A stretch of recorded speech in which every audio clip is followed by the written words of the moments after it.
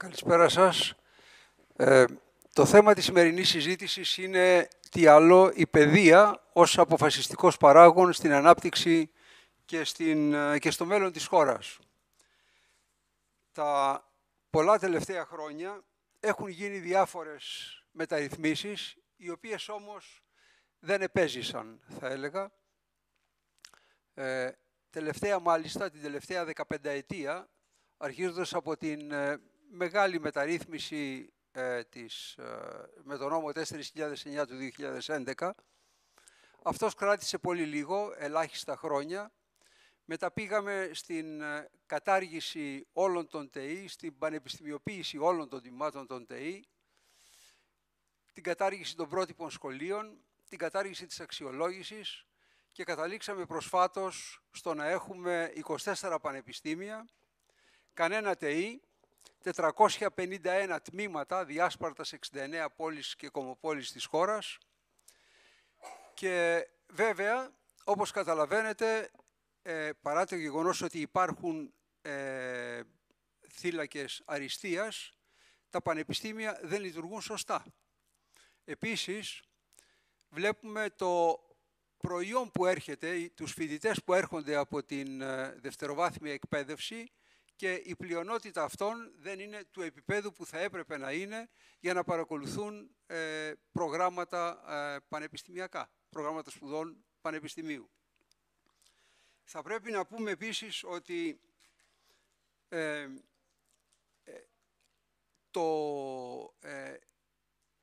ποσοστό των απολυωμένων από το Λύκειο που μπαίνει στα πανεπιστήμια ήταν μέχρι πρότινος άνω του 80% τη στιγμή που ε, σύμφωνα με τα στοιχεία του ΟΣΑ το 30 με 33% των απολυωμένων από το Λύκειο μπαίνουν στα πανεπιστήμια και οι υπόλοιποι διοχετεύονται σε, ε, στην τεχνική εκπαίδευση, τεχνολογική εκπαίδευση, τεχνική εκπαίδευση και επαγγελματική κατάρτιση. Αυτό έχει ως συνέπεια πολλοί από τους εισερχόμενους, πολλοί από εμάς είμαστε σχεδόν όλοι έτσι, είμαστε καθηγητές πανεπιστημίου, έχουμε βιώσει αυτή την, ε, αυτή την κατάσταση και βλέπουμε ότι στα πανεπιστήμια μπαίνουν άνθρωποι οι οποίοι δεν έχουν πολλές φορές και τις στοιχειώδεις γνώσεις. Ένα από τα τελευταία βέβαια, μία από τις τελευταίες μεταρρυθμίσεις, την οποία εύχομαι να διατηρηθεί, δεν είναι όμως η μόνη που πρέπει να γίνει, πρέπει να γίνουν πολλές ακόμη και θα το τα συζητήσουμε με τους εξαίρετους συνομιλητές που έχουμε καλέσει, ήταν η εφαρμογή της ελάχιστης βάσης εισαγωγής. Τουλάχιστον αυτή αποκλείει αυτούς που δεν μπορούν να παρακολουθήσουν πανε, ε, πανεπιστημιακού επίπεδου προγράμματα σπουδών. Βέβαια δεν αρκεί αυτό. Είναι ε, και αυτό μια ημιτελής, μια ημιτελής μεταρρύθμιση. Επίσης, θα πρέπει να πούμε το εξής, ότι όταν το 80% των νέων παιδιών των 18 χρόνων μπαίνει στο πανεπιστήμιο, αυτό σημαίνει ότι έχει και μια άλλη επίπτωση. Το γεγονός ότι στερείται η επαγγελματική εκπαίδευση και κατάρτιση από παιδιά τα οποία θα μπορούσαν να ασχοληθούν εκεί. Μια άλλη παρατήρηση την οποία έχω συζητήσει με ανθρώπους, ε, με ιδιοκτήτες και σε ο διευθύνοντες συμβούλους εταιριών, είναι ότι έχουν, δεν έχουν ψηφιακή κατάρτιση και τη σωστή κατάρτιση ακόμη και οι μηχανικοί οι οποίοι βγαίνουν προκειμένου να απασχοληθούν. Ε, πριν από ένα χρόνο θα, θα θυμάστε ότι το Τεχνικό Επιμελητήριο Ελλάδος έδωσε στη δημοσιότητα μία έκθεση η οποία έλεγε ότι για να ολοκληρωθούν όλα τα έργα του Ταμείου Ανάκαμψης και του ΕΣΠΑ χρειάζονται, ακούστε, 100.000 εξειδικευμένοι εργάτες, 40.000 εξειδικευμένοι τεχνίτες και 10.000 εξειδικευμένοι μηχανικοί. Ενώ συγχρόνως έχουμε μία πληθώρα ανθρώπων, πτυχιούχων, οι οποίοι όμως δεν έχουν τα προσόντα για να ανταποκριθούν στις απαιτήσεις της αγοράς, στις απαιτήσεις της κοινωνίας, θα έλεγα. Μέσα σε αυτό το πλαίσιο, α, ε, έχω και άλλες παρατηρήσεις να κάνω, τις οποίες όμως θα μου επιτρέψετε να κάνω σε δεύτερο γύρο. Γι' αυτό τώρα θα έρθω στις ερωτήσεις και θα ήθελα πρώτα να απευθυνθώ στον Αχιλέα Γραβάνη, καθηγητή φαρμακολογίας στην Ιατρική Σχολή του Πανεπιστημίου Κρήτης.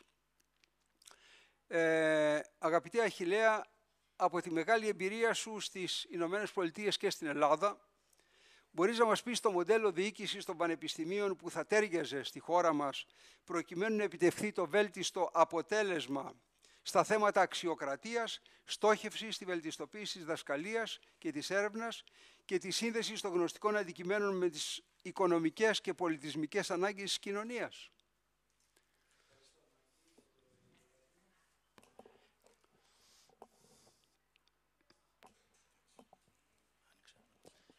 Και έπεται και δεύτερος γύρος, έχω και άλλη ερώτηση για σένα προφανώς.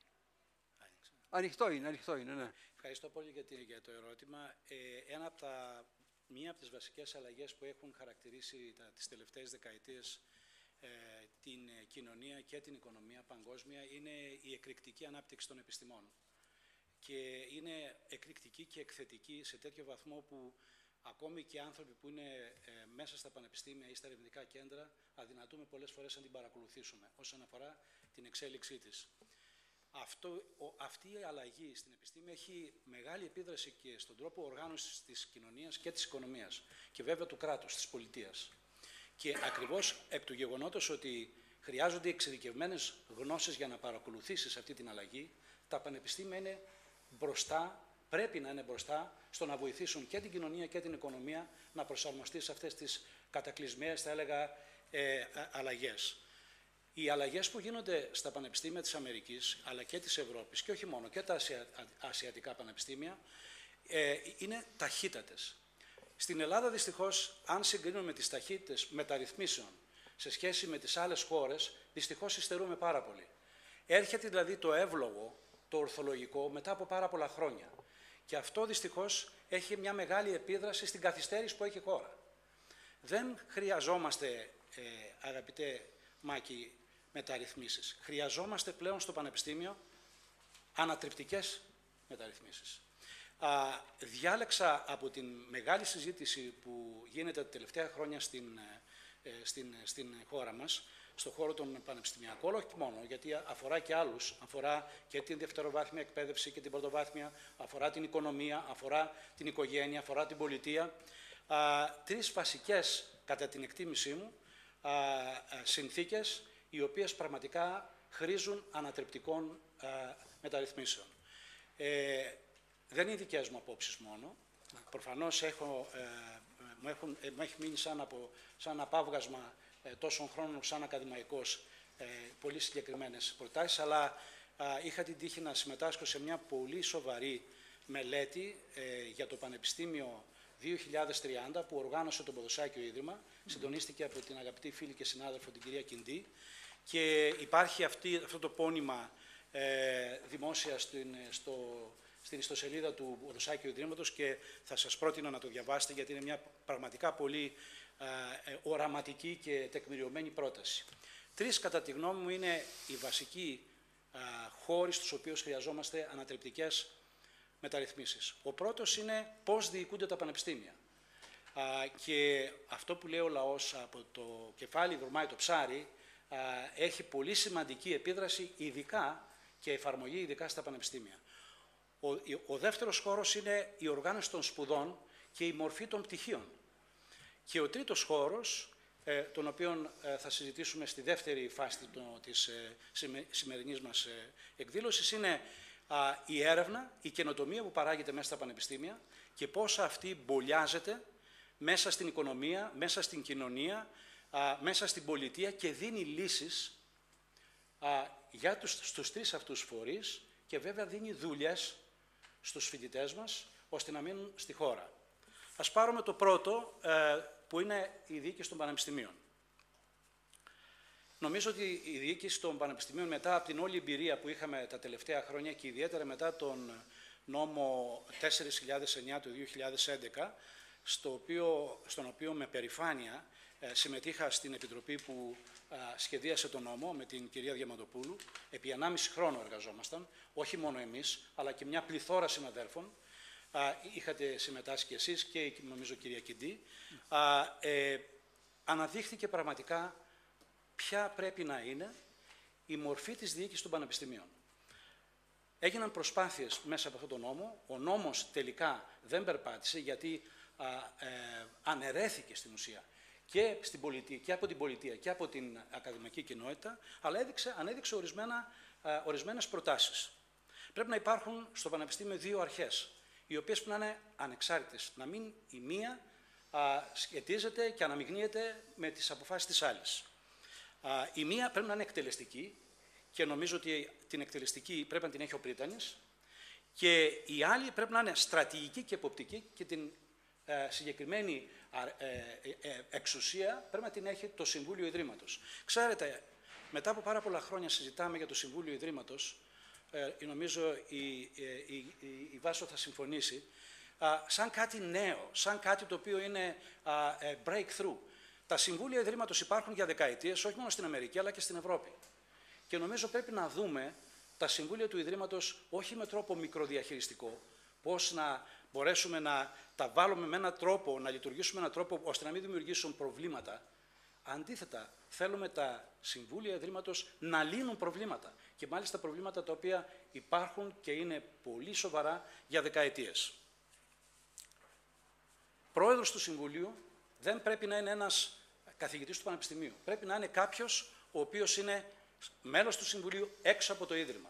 Ό,τι, προ, ό,τι προέβλεπε δηλαδή ο νόμος 4009. Ό,τι προέβλεπε ο νόμος 4009, Μάκη, ο οποίος όμως δυστυχώς δεν εφαρμόστηκε. Γιατί αυτό; Το Πανεπιστήμιο είναι μια μικρή κοινότητα.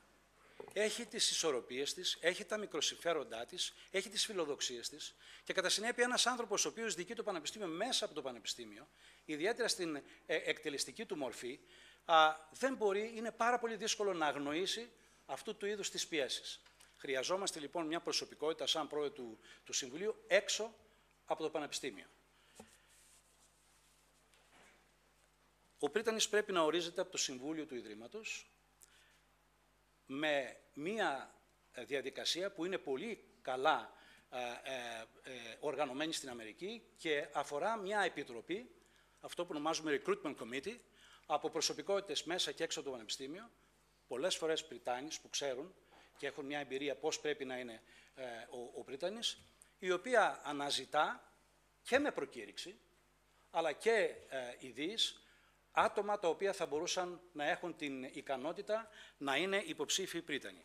Ο Πρίτανης μετά από την πρόταση της ε, Recruitment Committee αποφασίζεται από το Συμβούλιο του Ιδρύματος με συμβόλαιο κάποιας χρονικής διάρκειας και ένα συγκεκριμένο mandate το οποίο σχετίζεται με τη στρατηγική του Ιδρύματος, που καλείται ο Πρίτανης να την εφαρμόσει πλέον για μια τετραετία ή πενταετία.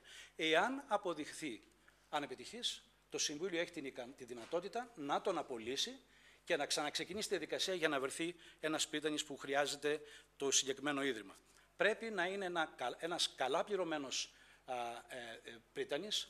Πόσο καλά, 7-8 χιλιάδες ευρώ το μήνα, έξω από το δημόσιο λογιστικό και το Πανεπιστήμιο έχει τη δυνατότητα με τα νομικά πρόσωπα ιδιωτικού δικαίου να εξασφαλίσει τέτοιους μισθούς, είτε από τις δωρεές, είτε από τα κληροδοτήματα, είτε από τα έσοδα που έχει, ώστε να φέρει μέσα στο Πανεπιστήμιο κάποιον, όχι κατ' οικονομία, αλλά αυτόν που πραγματικά θέλει και αυτό που πραγματικά ε, έχει η αγορά σαν άριστο, να τον πληρώσει καλά και ε, ώστε να βοηθήσει το Ίδρυμα.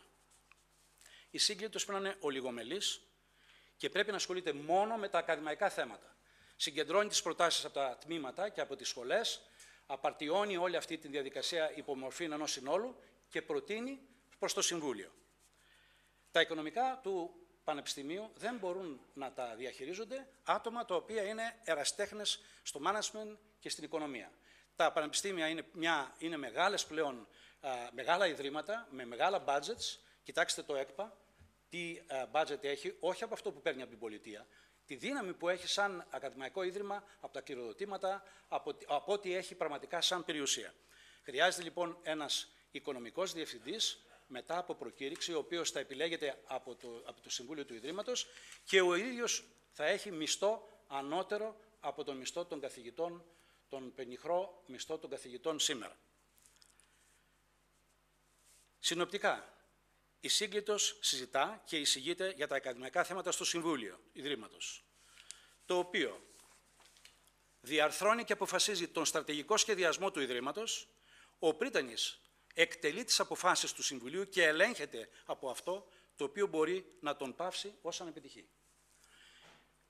Το δεύτερο στοιχείο το οποίο νομίζω είναι πάρα πολύ σημαντικό και χρειάζεται μεγάλες αλλαγές, δύσκολες αλλαγές, γιατί δυστυχώς το Ελληνικό Πανεπιστήμιο έχει τμήματα ή αντικείμενα επιστήμης τα οποία αφορούν σε διδακτορικές διατριβές καθηγητών, παλιών καθηγητών, ακόμη και νέων μερικές φορές, που είναι πολύ μακριά από αυτό που έχει ανάγκη σήμερα η επιστήμη, οι νέοι επιστήμονές μας, η πολιτεία, η κοινωνία και η οικονομία μας.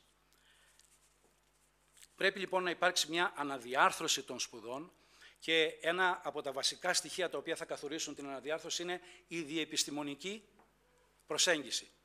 Είμαι καθηγητής στην ιατρική σχολή, σαν αντικείμενο που αφορά τη φαρμακολογία. Τα τελευταία 15 χρόνια, οι περισσότεροι φοιτητές μου ήταν όχι γιατροί, όχι φαρμακοποιοί, όχι βιολόγοι. Ήταν μηχανικοί, ήταν βιοπληροφορικοί, ήταν χημικοί μηχανικοί, διότι ασχολούμασταν με ένα αντικείμενο το οποίο αφορά στην ανάπτυξη φαρμάκων, που δεν είναι τα συμβατικά συνθετικά φάρμακα, είναι κύτταρα, είναι μικροσυσκευές, είναι ε, προγράμματα ηλεκτρονικού υπολογιστή που σχετίζονται με την, με την ανάλυση της νόσου, την ανάλυση της θεραπείας και την παρακολούθηση της θεραπείας. Κατά συνέπεια, η ιατρική πλέον δεν μπορεί να σπουδάζει στην ιατρική ένας άνθρωπος που ασχολείται μόνο με τη βιολογία, τη φαρμακολογία, την παθοφυσιολογία και γενικά την κλινική ιατρική. Χρειάζονται λοιπόν, χρειάζεται αλλαγή των κουρίκων των ε, σχολών μέσα από αυτή, την, ε, από αυτή την, ε, τη διάσταση. Αυτό ε, επίσης απαιτεί και κάτι άλλο. Το πανεπιστήμιο, αν σκεφτείτε τη, τη λέξη πανεπιστήμιο, πανεπιστήμιο, το πανεπιστήμιο δεν είναι μια τεχνική σχολή που βγάζει τορναδόρους, βγάζει επιστήμονες, οι οποίοι έχουν τη δυνατότητα να περάσουν τη γνώση, τη χρήσιμη γνώση στην κοινωνία και στην οικονομία, να παράξουν καινούργια γνώση που χρειάζεται, που ούτε καν τη φαντάζονται όταν εκπαιδεύονται μέσα στο πανεπιστήμιο, αλλά θα τη βρουν μπροστά τους από τις συνθήκες της ζωής μετά από κάμποσα χρόνια. Πρέπει λοιπόν οι φοιτητές μας και οι νέοι επιστήμονες να έχουν δεξιότητες γενικού ενδιαφέροντος, να μπορούν να προσαρμοστούν στις κατακλυσμιαίες, ξαναλέω, αλλαγές, για να καταλάβετε τι εννοώ με τον θορυβόδη όρο κατακλυσμιαίες, θα σας δώσω μόνο ένα παράδειγμα που λέγεται τεχνητή νοημοσύνη. Και πώς την ξέραμε πριν από δύο-τρία χρόνια και πού βρίσκεται στην καθημερινότητά μας σήμερα, ειδικά στο χώρο το δικό μου, ε, στην ιατρική. Επίσης κάτι πάρα πολύ σημαντικό. Στην Ελλάδα σπουδάζουμε οπωσδήποτε για να πάρουμε ένα πτυχίο το οποίο θα μας βοηθήσει να βγάλουμε το ψωμί μας. Πράγμα το οποίο δεν ισχύει στο, σε πάρα πολύ, ε, πολλές χώρες από τον υπόλοιπο κόσμο. Σπουδάζουμε για να μάθουμε να σκεφτόμαστε, να, να μάθουμε να λειτουργούμε σαν επιστήμονες, να λύνουμε προβλήματα. Παίρνουμε γνώσεις και από άλλα αντικείμενα και αυτό δημιουργεί τις συνθήκες, τα διάφορα πτυχία και οι διάφορες γνώσεις για να βγούμε στην αγορά εργασίας. Πώς; Να βγούμε στην αγορά εργασίας η οποία μπορεί να, να μας καλέσει μετά από κάποια χρόνια να αλλάξουμε προσανατολισμό. Ακόμη και επάγγελμα.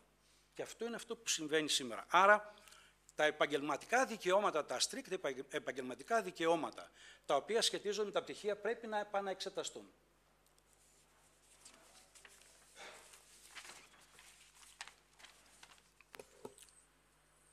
Το αφήσουμε για το Επίσης, επόμενο. Και τελειώνω σε Ναι, ναι. δύο λεπτά, Ναι. Μάκη.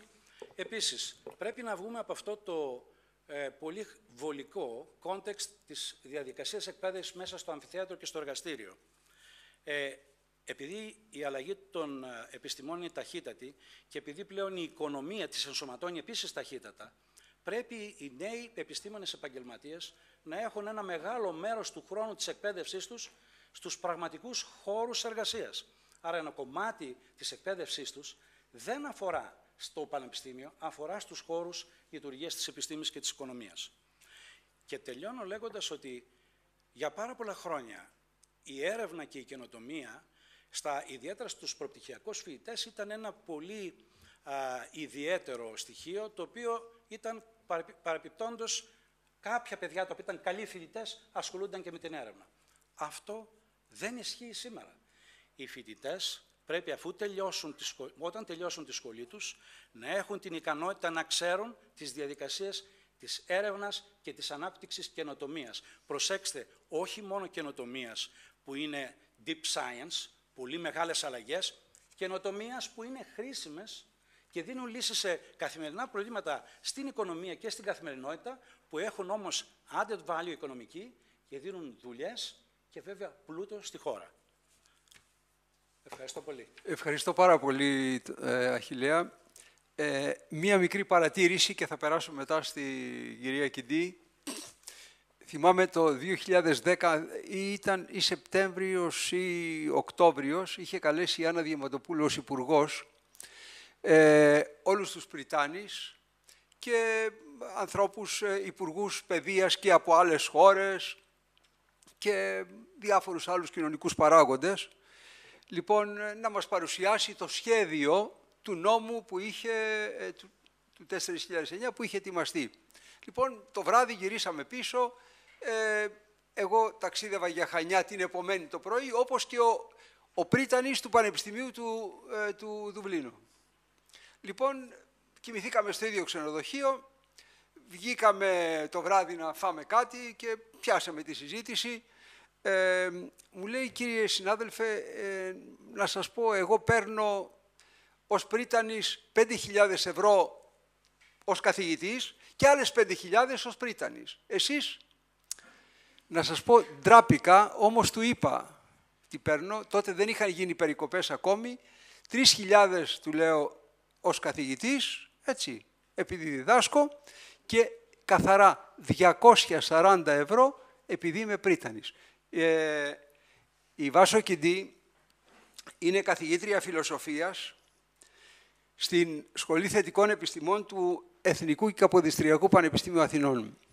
Και όχι μόνο, είναι μία από τις ε, πρωτοπόρες, όπως ακούσατε, όπως είπε και ο Αχιλέας, προηγουμένως από τους ανθρώπους που έχουν συμμετάσχει ενεργά τα πολλά τελευταία χρόνια στο θέμα των μεταρρυθμίσεων.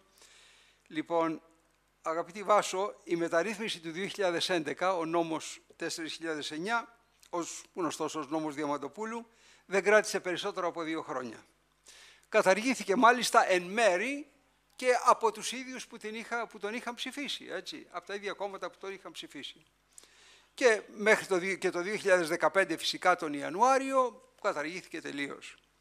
Λοιπόν, επίσης, το 2021 νομοθετήθηκε η πολύ σημαντική κατά τη γνώμη μου ελάχιστη βάση εισαγωγής και το 2002 ο νόμος 4957 γνωστός ως νόμος Κεραμέως, νόμος, ε, το 22, 22, είπα νόμος 4957, συγγνώμη.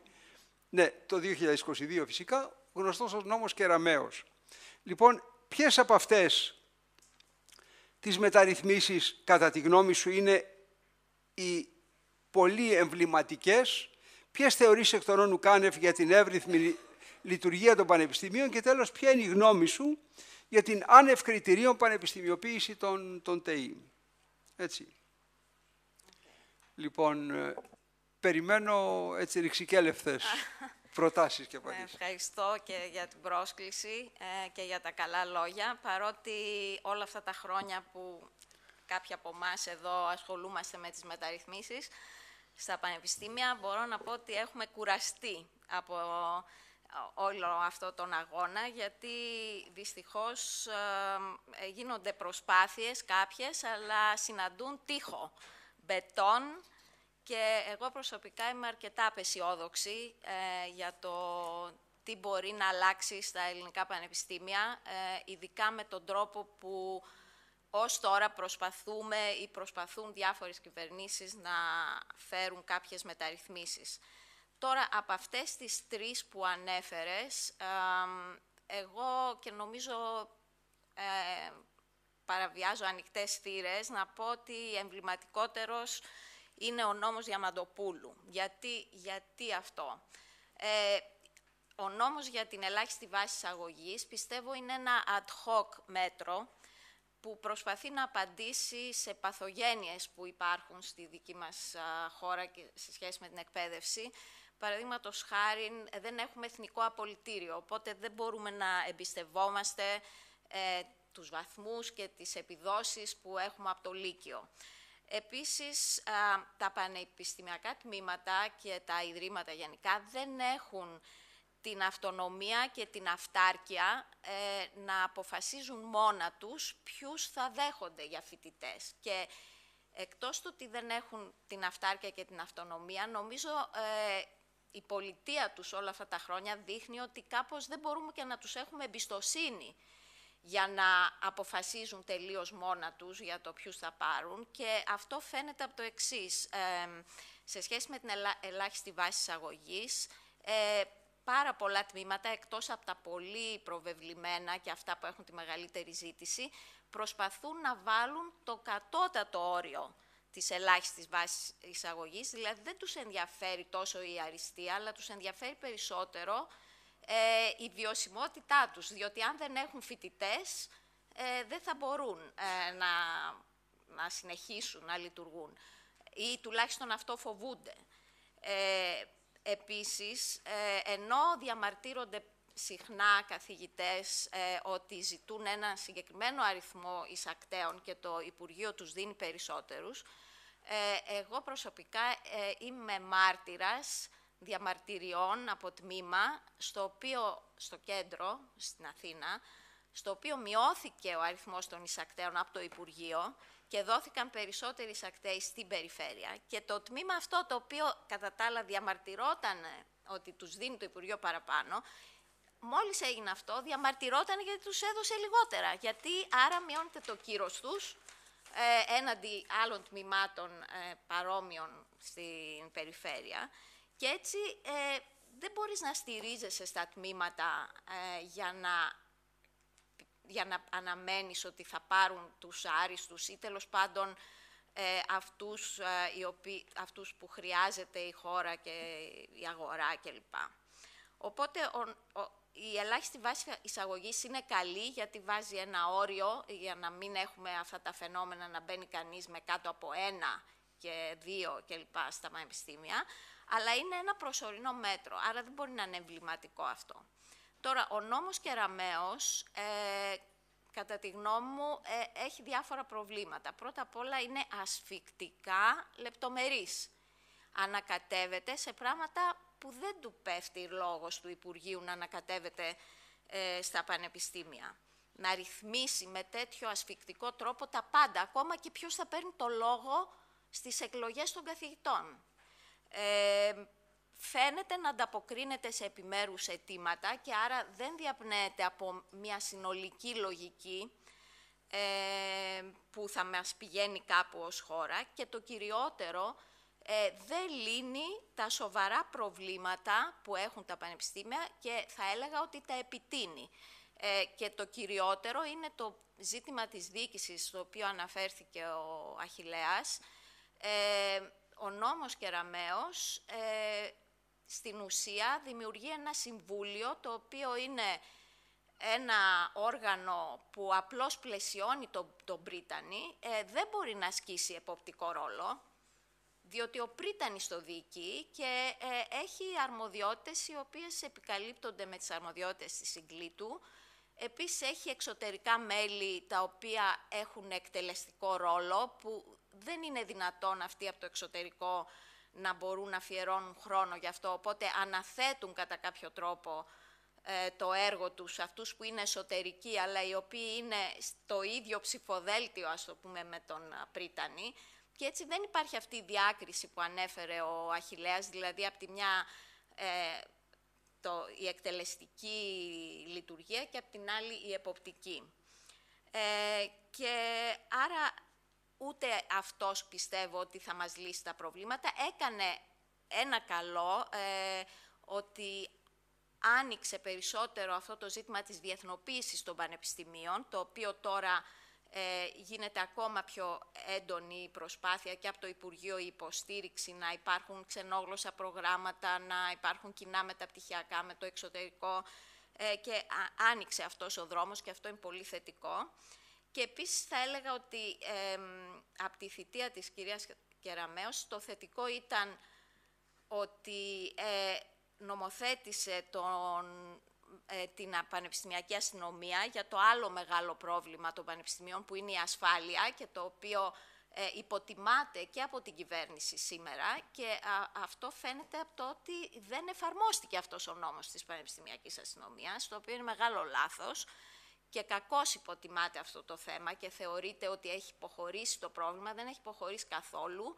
Γινόμαστε μάρτυρες καθημερινά επεισοδίων ε, που μας προσβάλλουν και ως άτομα και ως χώρα.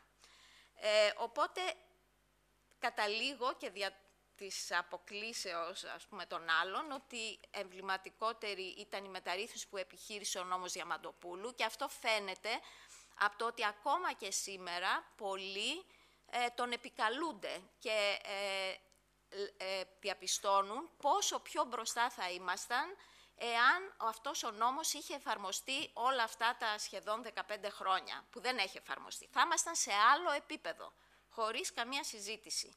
Και τι έκανε, αξιοποίησε τη διεθνή εμπειρία και προσπάθησε να μας συντονίσει με τη διεθνή εμπειρία, αξιοποίησε την εμπειρία την ε, τοπική, ας πούμε, ε, την εμπειρία που είχαν πριτάνεις καθηγητές, ε, έγινε μεγάλη συζήτηση, έγιναν συνέδρια, διαβούλευση, τα είπε λίγο ο Αχιλέας πριν. Και τι ήταν αυτό που εισήγαγε; Ε, πρώτον, έβγαλε τους φοιτητές από τη δίκηση. Δεν πρέπει να ξεχνάμε ότι μέχρι τότε οι φοιτητές ψήφιζαν ως αντιπρόσωποι περίπου κομμάτων και εκεί ήταν η διαπλοκή κομμάτων και διοίκηση των πανεπιστημίων. Αυτό τελείωσε με τον νόμο Διαμαντοπούλου και δεν τόλμησε ούτε ο ΣΥΡΙΖΑ να το αλλάξει αυτό το πράγμα. Ε, μετά εισήγαγε την έννοια της λογοδοσίας που ήταν συνδυασμένη με την αυτονομία και ήταν λογοδοσία εσωτερική, όχι λογοδοσία στο Υπουργείο όπως είναι τώρα ε, και από το Σύνταγμα κλπ. που εξακολουθεί να υπάρχει, αλλά λογοδοσίας εσωτερικά στο Συμβούλιο, το οποίο αυτό το μέτρο ενίσχυε και την άμυλα μεταξύ των πανεπιστημίων. Να μην εξομοιώνονται όλα τα πανεπιστήμια με νόμους από το κράτος, αλλά κάθε πανεπιστήμιο με βάση και το στρατηγικό του σχέδιο να διαμορφώνει την ιδιαίτερη φυσιογνωμία του.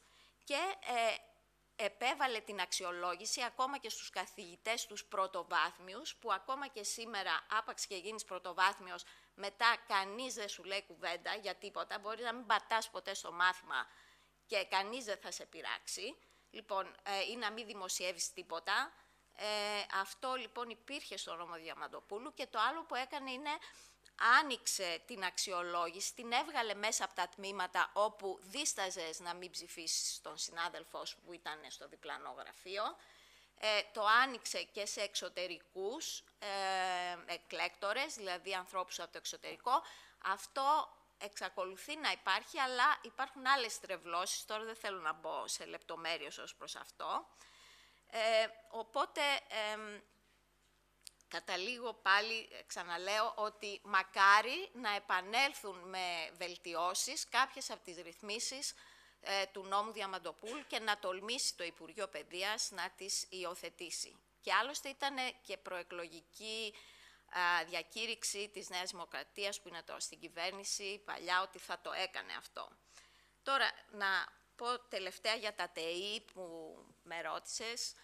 Ε, πολύ σύντομα, νομίζω όλοι τα είπαν λίγο πολύ όσοι μίλησαν. Ε, ποιος είναι ο λόγος που έγινε η ανωτατοποίηση, η πανεπιστημιοποίηση των ΤΕΗ. Ε, ήταν καθαρά, κατά τη γνώμη μου, ψηφοθυρικός. Έτσι, δηλαδή, ε, μια μεγάλη ομάδα ανθρώπων ξαφνικά πήραν ε, προσόντα και αυτό αφορά και τους φοιτητές που παίρνουν πλέον πανεπιστημιακό πτυχίο, αλλά και τους καθηγητές, οι οποίοι ε, πολλοί δεν είχαν καν διδακτορικό ε, και ξαφνικά με διαδικασίες ε, ραγδαίες ε, έγιναν ε, καθηγητές, πριτάνης κτλ. Ε, δηλαδή δεν ακολουθήθηκε, ξέρω ότι στα ΤΕΗ υπήρχαν καθηγητές οι οποίοι ήταν πολύ ψηλών προσόντων, γιατί δεν μπορούσαν να βρουν δουλειά στο Πανεπιστήμιο, αλλά δεν μπορεί αυτό να γίνεται μαζικά με νόμους και με επιτροχάδιν διαδικασίες. Και ο τρόπος που ε, είπαμε, ο λόγος ψηφοθυρικός, ο τρόπος ήταν με πρώτα απ' όλα όπως έχουν οι ίδιοι ομολογήσει ε, καθηγητές και μέλη διοικήσεων με διάφορες συναλλαγές. με διοικήσεις. Δηλαδή θα πάρεις αυτό το ΤΕΙ και εμείς θα σου δώσουμε αυτό ως κυβέρνηση. Λοιπόν, ε, αυτός δεν είναι τρόπος να ιδρύονται ιδρύματα και τμήματα, ωραία, ή να οργανώνονται οι σπουδές. Και βεβαίως ε, ιδρύονταν τμήματα ε, με τροπολογίες στις 12 τη νύχτα μιας γραμμής από βουλευτές. Αυτά δεν είναι σοβαρά πράγματα. Έτσι. Λοιπόν, και ποιο είναι το αποτέλεσμα, ότι έχουμε αποδυναμωμένα τμήματα, ε, τα οποία όμως ως πανεπιστημιακά τμήματα πρέπει να κάνουν έρευνα, οπότε τι κάνουν, τώρα ζητούν καθηγητές και χρηματοδότηση για να γίνουν αξιοπρεπή τμήματα και αρχίζει ένας φαύλος κύκλος ε, και βέβαια ε, έχουμε την εξαφάνιση της επαγγελματικής εκπαίδευσης που το υπόθηκε ήδη και έχουμε και προβλήματα στα ιδρύματα που τα δέχτηκαν. Νομίζω δύο ήταν μόνο τα ιδρύματα που δεν δέχτηκαν να πάρουν ε, τε. Ήταν της Πάτρας που πήρε κάποια, δεν πήρε όλα. Το Πολυτεχνείο Κρήτης. Και το Πολυτεχνείο Κρήτης, ναι. Και ίσως και το Πανεπιστήμιο Κρήτης. Και το Πανεπιστήμιο ναι, Κρήτης, ακριβώς. Ε, που ίσως πραγματικά, ειδικά της Κρήτης, ναι, είχαν ε, ένα υψηλό πύχη κατά κάποιο τρόπο και δεν δέχτηκαν αυτές τις συμφωνίες ε, με το Υπουργείο. Ε, και ακόμα είμαστε σε αυτή την κατάσταση και δεν ξέρω πώς μπορεί να αναταχθεί η επαγγελματική εκπαίδευση. Αυτά. Ευχαριστώ Βάσο. Εγώ θα προσθέσω το εξής. Στο άρθρο 7 του νόμου 4009 του νόμου Διαμαντοπούλου προβλεπόταν και το ακόλουθο, θα σας το θυμίσω και το θυμάμαι πάρα πολύ καλά επειδή ήταν κάτι το οποίο συζήτησα πάρα πολύ και επέμεινα τότε με το να ήμουν στο το Βασίλη Παπάζογλου, να μπει στο νόμο, πήγαμε στο γραφείο της Άννας Διαμαντοπούλου μάλιστα και το δέχτηκε και εκείνη να μπει, το οποίο έλεγε το εξής, ότι ένας φοιτητής έχει το δικαίωμα να πάρει ένα μάθημα δύο φορές, να το δώσει ας πούμε Ιανουάριο και Σεπτέμβριο, δύο φορές. Την τελευταία φορά βέβαια, σε επιτροπή. Αν αποτύχει, είχε το δικαίωμα η σχολή να τον διαγράψει τον φοιτητή. Έτσι. Εγώ θυμάμαι πάρα πολύ σύντομα σας το λέω, θα το ξέρετε όσοι διδάξαμε ε, σε Αμερική και Καναδά, όταν έπαιρνα τα ονόματα, τη λίστα με τα ονόματα των φοιτητών μου, έπαιρνα και δύο drop-out forms. Έτσι, αν ζητούσα κι άλλες, μου έδιναν κι άλλες. Τι γινόταν εκεί, όταν ένας φοιτητής δεν ερχόταν δύο-τρεις φορές χωρίς να αιτιολογηθεί, γιατί μπορεί να αιτιολογούσε την απουσία του λέγοντας «Κύριε καθηγητά, είχα να πάω στο γιατρό». Και παρακαλώ, ερχόταν στο γραφείο στην επομένη, ρωτώντας ε, «Τι κάνατε κύριε καθηγητά χτες που έλειπα εγώ». Αν όμως αδικαιολόγητα έλειπε κάποιες συνεχόμενες φορές, τότε είχες δικαίωμα να συμπληρώσεις την drop-out form, να τη στείλεις στο registration office και να διαγραφεί και να χάσει και τα δίδακτρα μάλιστα που είχε πληρώσει για το μάθημα. Λοιπόν, αυτό ε, παρά την επιμονή μου δεν μπήκε στο νόμο Κεραμέως. Και είμαι βέβαιος πως και, και εσείς από την Επιτροπή Μποδοσάκη, Βάσο και Αχιλέα θα είχατε επιμείνει κι εσείς έτσι να γίνει. Λοιπόν, ε, Πάμε παρακάτω. Κοιτάξτε, αυτά τα λέμε, ασκούμε επικοδομητική κριτική. Διότι το πρόβλημα αυτή τη στιγμή που έχει η κυβέρνηση, ότι έχει μία αντιπολίτευση απέναντί της, που είναι σε όλα όχι, άρα δεν υφίσταται επικοδομητική προ, ε, αντιπολίτευση. Έτσι. Λοιπόν, εμείς αναλαμβάνουμε αυτό το ρόλο. Έτσι, έτσι. Αρίστο. Λοιπόν, ε, ο Δημήτρης Οικονόμου είναι ομότιμος καθηγητής πλέον ε, χωροταξίας και πολεοδομίας του Πανεπιστημίου Θεσσαλίας. Λοιπόν, βέβαια τώρα έχει και άλλα καθήκοντα. Είναι πρόεδρος στο νέο νομικό πρόσωπο δημοσίου δικαίου, το Αρχαιολογικό Μουσείο, το Εθνικό Αρχαιολογικό Μουσείο. Έτσι. Όμως με την ιδιότητα του καθηγητή, εγώ θα σε ρωτήσω, Δημήτρη, έχουν παρέλθει σχεδόν πέντε χρόνια από τις εθνικές εκλογές του 2019. Η παρούσα κυβέρνηση είχε στο προεκλογικό της πρόγραμμα την επαναφορά του βελτιωμένου νόμου 4.009. Δύο χρόνια μετά, τα ΤΕΗ, ε, ε, πόσα χρόνια έχουν περάσει, πέντε συγγνώμη, σχεδόν, τα ΤΕΗ δεν έχουν επανέλθει, παρά το γεγονός ότι είναι αναγκαιότητα. Και να θυμηθούμε ότι η Γερμανία, για παράδειγμα, έχει 80 πανεπιστήμια, 84 εκατομμύρια κατοίκους, 80 πανεπιστήμια και 104 φάχοξούλε, έτσι, ΤΕΙ δηλαδή. Λοιπόν, ποια είναι η γνώμη σου πάνω σε αυτό; Ευχαριστώ κύριε Πρόεδρε. Τι δηλαδή πρέπει να, να γίνει ώστε να βγούμε από αυτό το αδιέξοδο, έτσι; Πρώτα, η γνώμη μου για την κατάργηση των ανωτατοποίηση εντός εισαγωγικών των ΤΕΗ είναι ότι είναι ό,τι χειρότερο συνέβη στην ανωτάτη εκπαίδευση στην Ελλάδα μετά από το νόμο πλαίσιο του 1982. Με το νόμο πλαίσιο του 1982 ε, άλλαξε ριζικά και μαζικά η σύνθεση του καθηγητικού σώματος, ΔΕΠ από τότε, με την είσοδο πολύ μεγάλου αριθμού ανθρώπων που δεν είχαν ούτε διδακτορικά, αλλά ούτε είχαν κρυθεί με κάποιο τρόπο. Απλώς έτυχε να είναι βοηθή κάποιων καθηγητών εκείνη την περίοδο. Ε, αυτό άλλαξε ριζικά τις ισορροπίες μέσα στο Πανεπιστήμιο και δεδομένου ότι το Πανεπιστήμιο είναι ένας θεσμός ο οποίος έχει κάποια φεουδαρχικά στοιχεία από την άποψη ότι το καθηγητικό σώμα, μάλλον, ότι αναπαράγεται λίγο πολύ, διότι οι καθηγητές εκλέγουν τους καινούριους. Αυτή, αυτή η, η, η πλήρης αλλαγή των ισορροπιών σε αυτό το επίπεδο και προς το χειρότερο βέβαια, ε, δημιούργησε ε, αλυσιδωτές συνέπειες επί δεκαετίες, μέχρι σήμερα. Ε, αντίστοιχα, όχι τόσο βέβαια βαρύ, αλλά ε, το επόμενο χειρότερο είναι η αντατοποίηση των ΤΕΙ. Αναφέρθηκε και η κυρία Κιντή και δεν θέλω να πω εγώ τα ίδια, αλλά ε, θέλω να πω μερικά πράγματα γι' αυτό. Τα ΤΕΙ όταν υπήρχαν δεν ήταν ικανοποιητικά. Δηλαδή δεν έπαιζαν ε, ικανοποιητικά, ικανοποιητικά το ρόλο ενός μεταλλικιακού επίπεδου εκπαίδευσης με επαγγελματικό χαρακτήρα. Είχαν μεγάλα προβλήματα και από την άποψη των καθηγητών και από την άποψη των, των προγραμμάτων σπουδών, πάρα πολύ. Αλλά, εν πάση περιπτώσει, υπήρχαν με μεγάλες ε, διαφορές μεταξύ τους. Υπήρχαν καλά, υπήρχαν πολύ καλά τμήματα σε ΤΕΙ. Υπήρχαν και πολύ κακά. Η μεγάλη πλειονότητα νομίζω ήταν κάτω του μετρίου. Όταν καταργήθηκαν τα ΤΕΙ, αυτά που ήταν, δημιουργήθηκε ένα τεράστιο κενό. Και στην εκπαίδευση, αλλά και στην αγορά εργασίας. Στην αγορά εργασίας από την άποψη της προσφοράς ε, ε, νέων ε, στελεχών. Ε, διότι ήδη υπήρχε πρόβλημα με το ότι τα ΤΕΙ δεν κάνουν καλά τη δουλειά τους, κατά μέσο όρο, με την κατάργησή τους καταργήθηκε τελείως αυτό το είδος ε, αναγκαίων στελεχών, αναγκαίων στελεχών σε μια οικονομία αναπτυσσόμενη. Ε, και κατά μείζον λόγο σε μια οικονομία στην οποία ε, αρχίζει και παίζει τεράστιο ρόλο η τεχνολογία, η καινοτομία. Ε, η καινοτομία και η τεχνολογία δεν μπορεί να έχει μόνο με τους επιστήμονες. Πρέπει να έχεις και τα μεσαία στελέχη.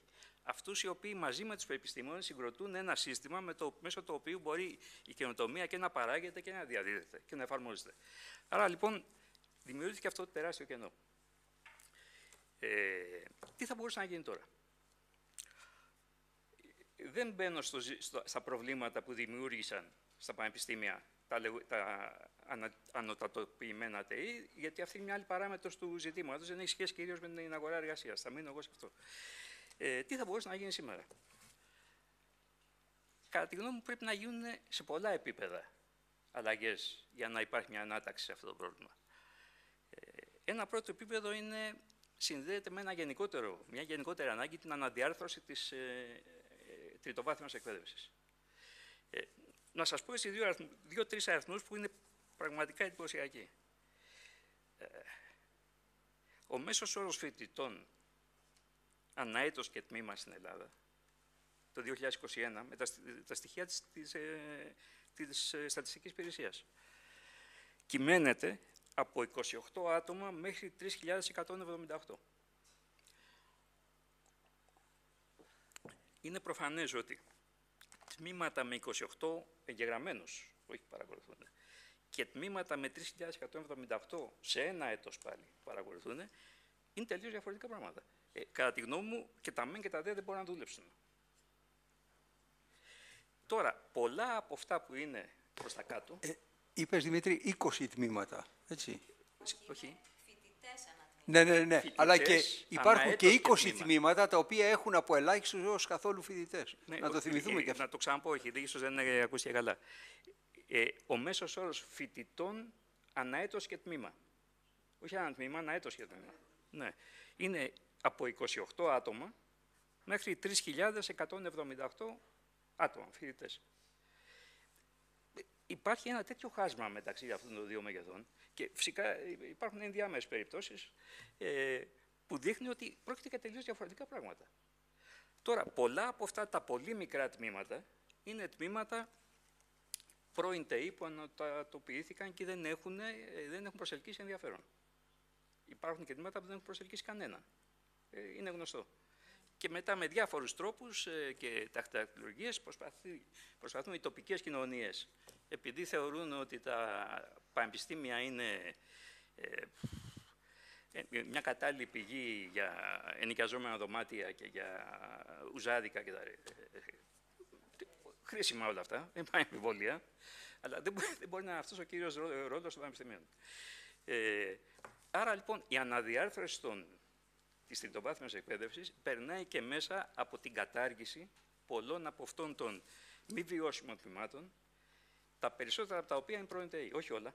Υπάρχουν και πανεπιστημιακά τμήματα τα οποία είναι εξίσου μη βιώσιμα, ήταν εθνισυγενή από την αρχή όλα. Αλλά ε, στην εντατική, παραμένουν χρόνια στην εντατική και έτσι επιβιώνουν. Ένα δεύτερο θέμα. Ε, είναι προφανές ότι μεταξύ των... Ε, συμφωνώ απολύτως ότι πρέπει να επανέλθει μια βαθμίδα μεταλλικιακής εκπαίδευσης τριετής. Ε, αυτά τα, ας το πούμε ΤΕΗ πάλι νέου τύπου. Τα προγράμματα σπουδών αυτών των νέων ΤΕΗ θα πρέπει να είναι πλήρως συντονισμένα με τα προγράμματα σπουδών των πανεπιστημίων σε αντίστοιχα αντικείμενα. Ε, αυτή τη στιγμή και και στα παλιά ΤΕΗ δεν ήταν τα περισσότερα προγράμματα επαρκή, αλλά και σε πολλά πανεπιστήμια, πανεπιστημιακά τμήματα τα προγράμματα δεν είναι επαρκή. Αναφέρθηκε ο κ. Γραβάνης για, για τις αδυναμίες των ε, κουρικών του. Δεν είναι. Ε, χρειάζεται λοιπόν και στις δύο, στους δύο αυτούς πόλους, αυτόν που υπάρχει και σε αυτό που πρέπει να δημιουργηθεί, ε, να υπάρχει μια, ε, πώς το λένε, συντονισμός, μια αμφίδρομη σχέση. Να καλύπτουν με συμπληρωματικό τρόπο ανάγκες της αγοράς εργασίας και της επιστήμης. Αυτό σημαίνει ένα κεντρικό συντονισμό βέβαια. Ε, αυτό έρχεται ίσως σε κάποια αντίθεση με την ανάγκη αυτονομίας του Πανεπιστημίου. Αλλά δεν είναι ανάγκη αυτό να γίνει από πάνω με την ε, αυστηρή καθοδήγηση του κράτους. Θα μπορούσαν να υπάρχουν και μορφές συντονισμού που θα ήταν μεταξύ των τμήματων ή των πανεπιστημιακών ενδρυμάτων και των νέων ΤΕΙ. Εν πάση περιπτώσει, ανεξάρτητα από το πώς θα πρέπει να γίνει, νομίζω είναι κάτι αναγκαίο. Ένα άλλο θέμα το οποίο ε, ταλάνιζε τα, ΔΕΗ, τα ΤΕΗ για πολλά χρόνια ήταν το θέμα των επαγγελματικών δικαιωμάτων. Ε, πολλά ΤΕΗ παρήγαγαν ε, κατάλληλους ανθρώπους για να δουλέψουν δίπλα σε μηχανικούς. Ας το θέσω έτσι. Ε, τεχνολόγους. Τεχνολόγους. Δεν ήταν όλα έτσι, αλλά ήταν αρκετά. Ε, οι τεχνολόγοι, οι απόφοιτοι των ΔΕΗ, των ΔΕΗ δεν είχαν ε, επαγγελματικά δικαιώματα ε, προσδιορισμένα. Γιατί; Γιατί αντιδρούσαν πάρα πολύ οι μηχανικοί και το τεχνικό επιμελητήριο και δεν δεχόντουσαν να ενσωματώσουν και τους αποφύτους των ΔΕΗ μέσα στο δικό τους ευρύτερο σύστημα. Είχαν αδικό. Δεν είχαν σίγουρα αδικό. Διότι υπήρχε και το θέμα της ποιότητας και των, ε, της συγκρότησης αυτών των ανθρώπων, των δυνατοτήτων που είχαν. Αλλά ε, πρακτικά δηλαδή υπήρχαν τέτοιες περιπτώσεις. Αλλά ε, το θέμα όμως έπρεπε να λυθεί. Έπρεπε να υπάρχει μια, ε, μια δυνατότητα ώστε και οι απόφοιτοι αυτών των τμήματων να έχουν μια ισότιμη πρόσβαση στην αγορά εργασίας στα δικά τους αντικείμενα. Όπως είναι σήμερα, ειδικά στους μηχανικούς, η διαμόρφωση των επαγγελματικών δικαιωμάτων χαρακτηρίζεται από το εξής. Από φοβερές ανισότητες μεταξύ των τμήματων των μηχανικών ήδη. Υπάρχουν δηλαδή στεγανά μέσα στην αγορά εργασίας, ε, στα οποία πρόσβαση έχουν προνομιούχες, με μια έννοια του όρου, προνομιούχα τμήματα. Δηλαδή και μεταξύ των μηχανικών υπάρχουν ε, ε, αυτές οι αντιθέσεις. Υπάρχουν, ας πούμε, δεν θέλω να μπω τώρα στις τεχνικές λεπτομέρειες, αλλά για να είσαι μελετητής δημοσίων έργων, μηχανικός, ε, υπάρχουν τμήματα που μπορείς να. Υπάρχουν 20 κατηγορίες, 25 ε, δημοσίων έργων. Υπάρχουν τμήματα, ε, οι απόφοιτοι των οποίων έχουν πρόσβαση σε 12 ειδικότητες από τις 25 και υπάρχουν τμήματα οι απόφοιτοι των οποίων έχουν πρόσβαση σε δύο. Εξορισμού εννοώ. Από εκεί πέρα μπορεί να διαλέγεις. Αλλά αυτοί που έχουν τη μεγαλύτερη πρόσβαση είναι η πολιτική μηχανική. Φυσικά. Για, η πολιτική μηχανική. Γιατί; Για διάφορους λόγους. Είναι ίσως το παλιότερο, η παλιότερη πανεπιστημιακή σχολή στα τεχνικά θέματα. Το καταλαβαίνω. Αλλά αυτό που στην αρχή ήταν λογικό, αφού αυτοί υπήρχαν μόνο, σιγά σιγά δημιούργησε κεκτημένα τα οποία δεν έχουν, πώς να το πούμε έτσι, ε, επικυροποιηθεί με ένα λογικό τρόπο. Άρα, όταν λέω επαγγελματικά δικαιώματα, δεν εννοώ κατά ανάγκη να υπάρξουν στεγανά, νέα στεγανά για τους αποφύτου των ΔΕΗ. Ενώ ένα άνοιγμα της αγοράς. Άνοιγμα της αγοράς, αλλά κάποιες προποθέσει για ορισμένα τμήματα της αγοράς πρέπει να υπάρχουν. Όπως δεν μπορείς να ε, επιτρέπεις ε, να ασχολείται με την ιατρική ο καθένας, διότι είναι το ζήτημα της υγείας, ή με τη στατική ο καθένας, γιατί μπορεί να σου πει στο σπίτι και να σε πλακώσει. Έτσι υπάρχουν περιπτώσεις που χρειάζεται να υπάρχουν κανόνες. Αλλά άλλο τα στεγανά, άλλο οι κανόνες όπου αυτό απαιτείται. Ε... Λύνεται εν μέρη το, το πρόβλημα με την καθιέρωση του εθνικού και ευρωπαϊκού πλαισίου προσόντων. Αμφιβάλλω. Αμφιβάλλω διότι ο τρόπος με τον οποίο τέτοιου είδους ε, ε ευρωπαϊκές πρωτοβουλίες ε, αφομοιώνται στην Ελλάδα οδηγεί κατά κανόνα στην, ε, στον, ε, πώς, πώς το λένε, χάνουν το περιεχόμενό τους και μένει ένας σκελετός ο οποίος δεν σημαίνει τίποτα. Ε, προβοκατόρικη ήταν η ερώτηση, διότι κάποιος μου είπε ότι τώρα το λύσαμε με το εθνικό και ευρωπαϊκό πλαίσιο προσόντων. Ευχαριστώ πολύ τον ε, δεν Δημήτρη. Καν. Δεν, ε; δεν λειτουργεί καν. Ναι, ε, βέβαια, λογικό είναι. Λοιπόν, ο... Πολύ γρήγορα πριν περάσω στον Γιώργο τον Βεβαίως. Πρέπει να συζητήσουμε τη δυνατότητα των επαγγελματικών εταιριών, των επιστημονικών εταιριών να έχουν άποψη για το curriculum, για τις σπουδές που κάνουν οι φοιτητές και για τα δικαιώματά τους. Και αυτό είναι κάτι που συμβαίνει στο εξωτερικό και δυστυχώς τεχνιακά δεν υπάρχει. Για τις επαγγελματικές ενώσεις, λες. Ναι, ναι, ναι. Πολύ σωστό. Ε, ο Γιώργος Δουκίδης είναι καθηγητής Διοικητικής Επιστήμης και Τεχνολογίας στο Οικονομικό Πανεπιστήμιο Αθηνών και μέχρι προ λίγων ημερών ήταν και μέλος τη, του, ε, του, της ΕΘΑΕ, της Εθνικής Αρχής Ανώτατης ε, Εκπαίδευσης. Λοιπόν, αγαπητέ Γιώργο, πώς θεωρείς ότι θα υλοποιηθεί η σύνδεση των πανεπιστημίων με τα ερευνητικά κέντρα και αυτά με τη μεταφορά νέας γνώσης σε νεοφυείς επιχειρήσεις και στην παραγωγή προϊόντων και υπηρεσιών, προκειμένου να εισέλθει η Ελλάδα στην τέταρτη βιομηχανική επανάσταση με αξιώσεις και να ε, φτάσει ή έστω να πλησιάσει, ας πούμε, την Νότιο Κορέα ή το Ισραήλ. Έτσι. Επίσης, θα ήθελα να αναφερθείς και στο γεγονός ότι, όπως γνωρίζουμε, ήσουν μέλος της, εφόσον ήσουν μέλος της ΕΘΑΕ, ήσουν και μέλος μιας επιτροπής της ΕΘΑΕ, η οποία ε, εκπόνησε μία μελέτη το 2002 η οποία υπεβλήθη στη Βουλή και στο Υπουργείο ε, Παιδείας και τι κατάληξη είχε. Αλλά σε δεύτερο χρόνο θα μας το πεις αυτό. Α, OK, okay, εντάξει. Καταρχάς, ευχαριστώ για την πρόσκληση. Πάρα πολύ τιμητικό να είμαι μεταξύ συναδέλφων που έχουν το θάρρος της γνώμης τους, το οποίο δημοσιοποιούν, ε, συμμετέχουν σε συζητήσεις, σε διαβουλεύσεις και αυτό είναι πάρα πολύ σημαντικό. Και νομίζω είναι πάρα πολύ χρήσιμο. Ε, εγώ όντως ήμουν στην, ε, στο, στο Ανώτο Συμβούλιο της ΕΘΑΕ για το 2020-2023, μια ανεξάρτητη αρχή, η οποία έχει κάνει σημαντικό έργο. Είναι για πρώτη φορά στα χρονικά που αξιολογούμε κάτι. Ε, άρα δεν μιλάμε αν ε, θα γίνει αξιολόγηση, αλλά πώς μπορούμε να την καλυτερεύσουμε. Επίσης είναι πολύ σημαντικό ότι στον τελευταίο νόμο... Αυτό που μας είπε πριν αρχίσουμε και ο ναι, ναι. Σπύρος ο Δουκάκης. Ναι. Ε, θα το, ξέρετε ότι παλιά μετά. η χρηματοδότηση των, των πανεπιστήμιων ήταν πάρα πολύ απλή. Ήταν η απόφαση του Υπουργού ή του Υπουργού. Πλέον αυτό δεν υπάρχει. Υπάρχει μια φόρμουλα η οποία διαχειρίζεται η ΕΘΑΕ, η οποία έχει ποσοτικά στοιχεία, τα ποσοτικά στοιχεία των πανεπιστημίων, γιατί διαφορετικό είναι ένα πανεπιστήμιο όπως των Αθηνών σε σχέση με τις Κρήτης. Και το πιο σημαντικό είναι πλέον ότι ένα σημαντικό ποσοστό είναι ποιοτικά κριτήρια. Δηλαδή, τα κριτήρια που αφορούν επιδόσεις όσον αφορά την εκπαίδευση, δηλαδή ο ρυθμός αποφύτησης. Προσέξτε. Έρευνα. Δημοσιεύσεις αναμέλος ΔΕΠ, σε ranking κλπ. κλπ. Αυτό ήταν στο 20%. Και αυτό έβγαινε αυτόματα από τις αξιολογήσεις που κάναμε κάθε χρόνο.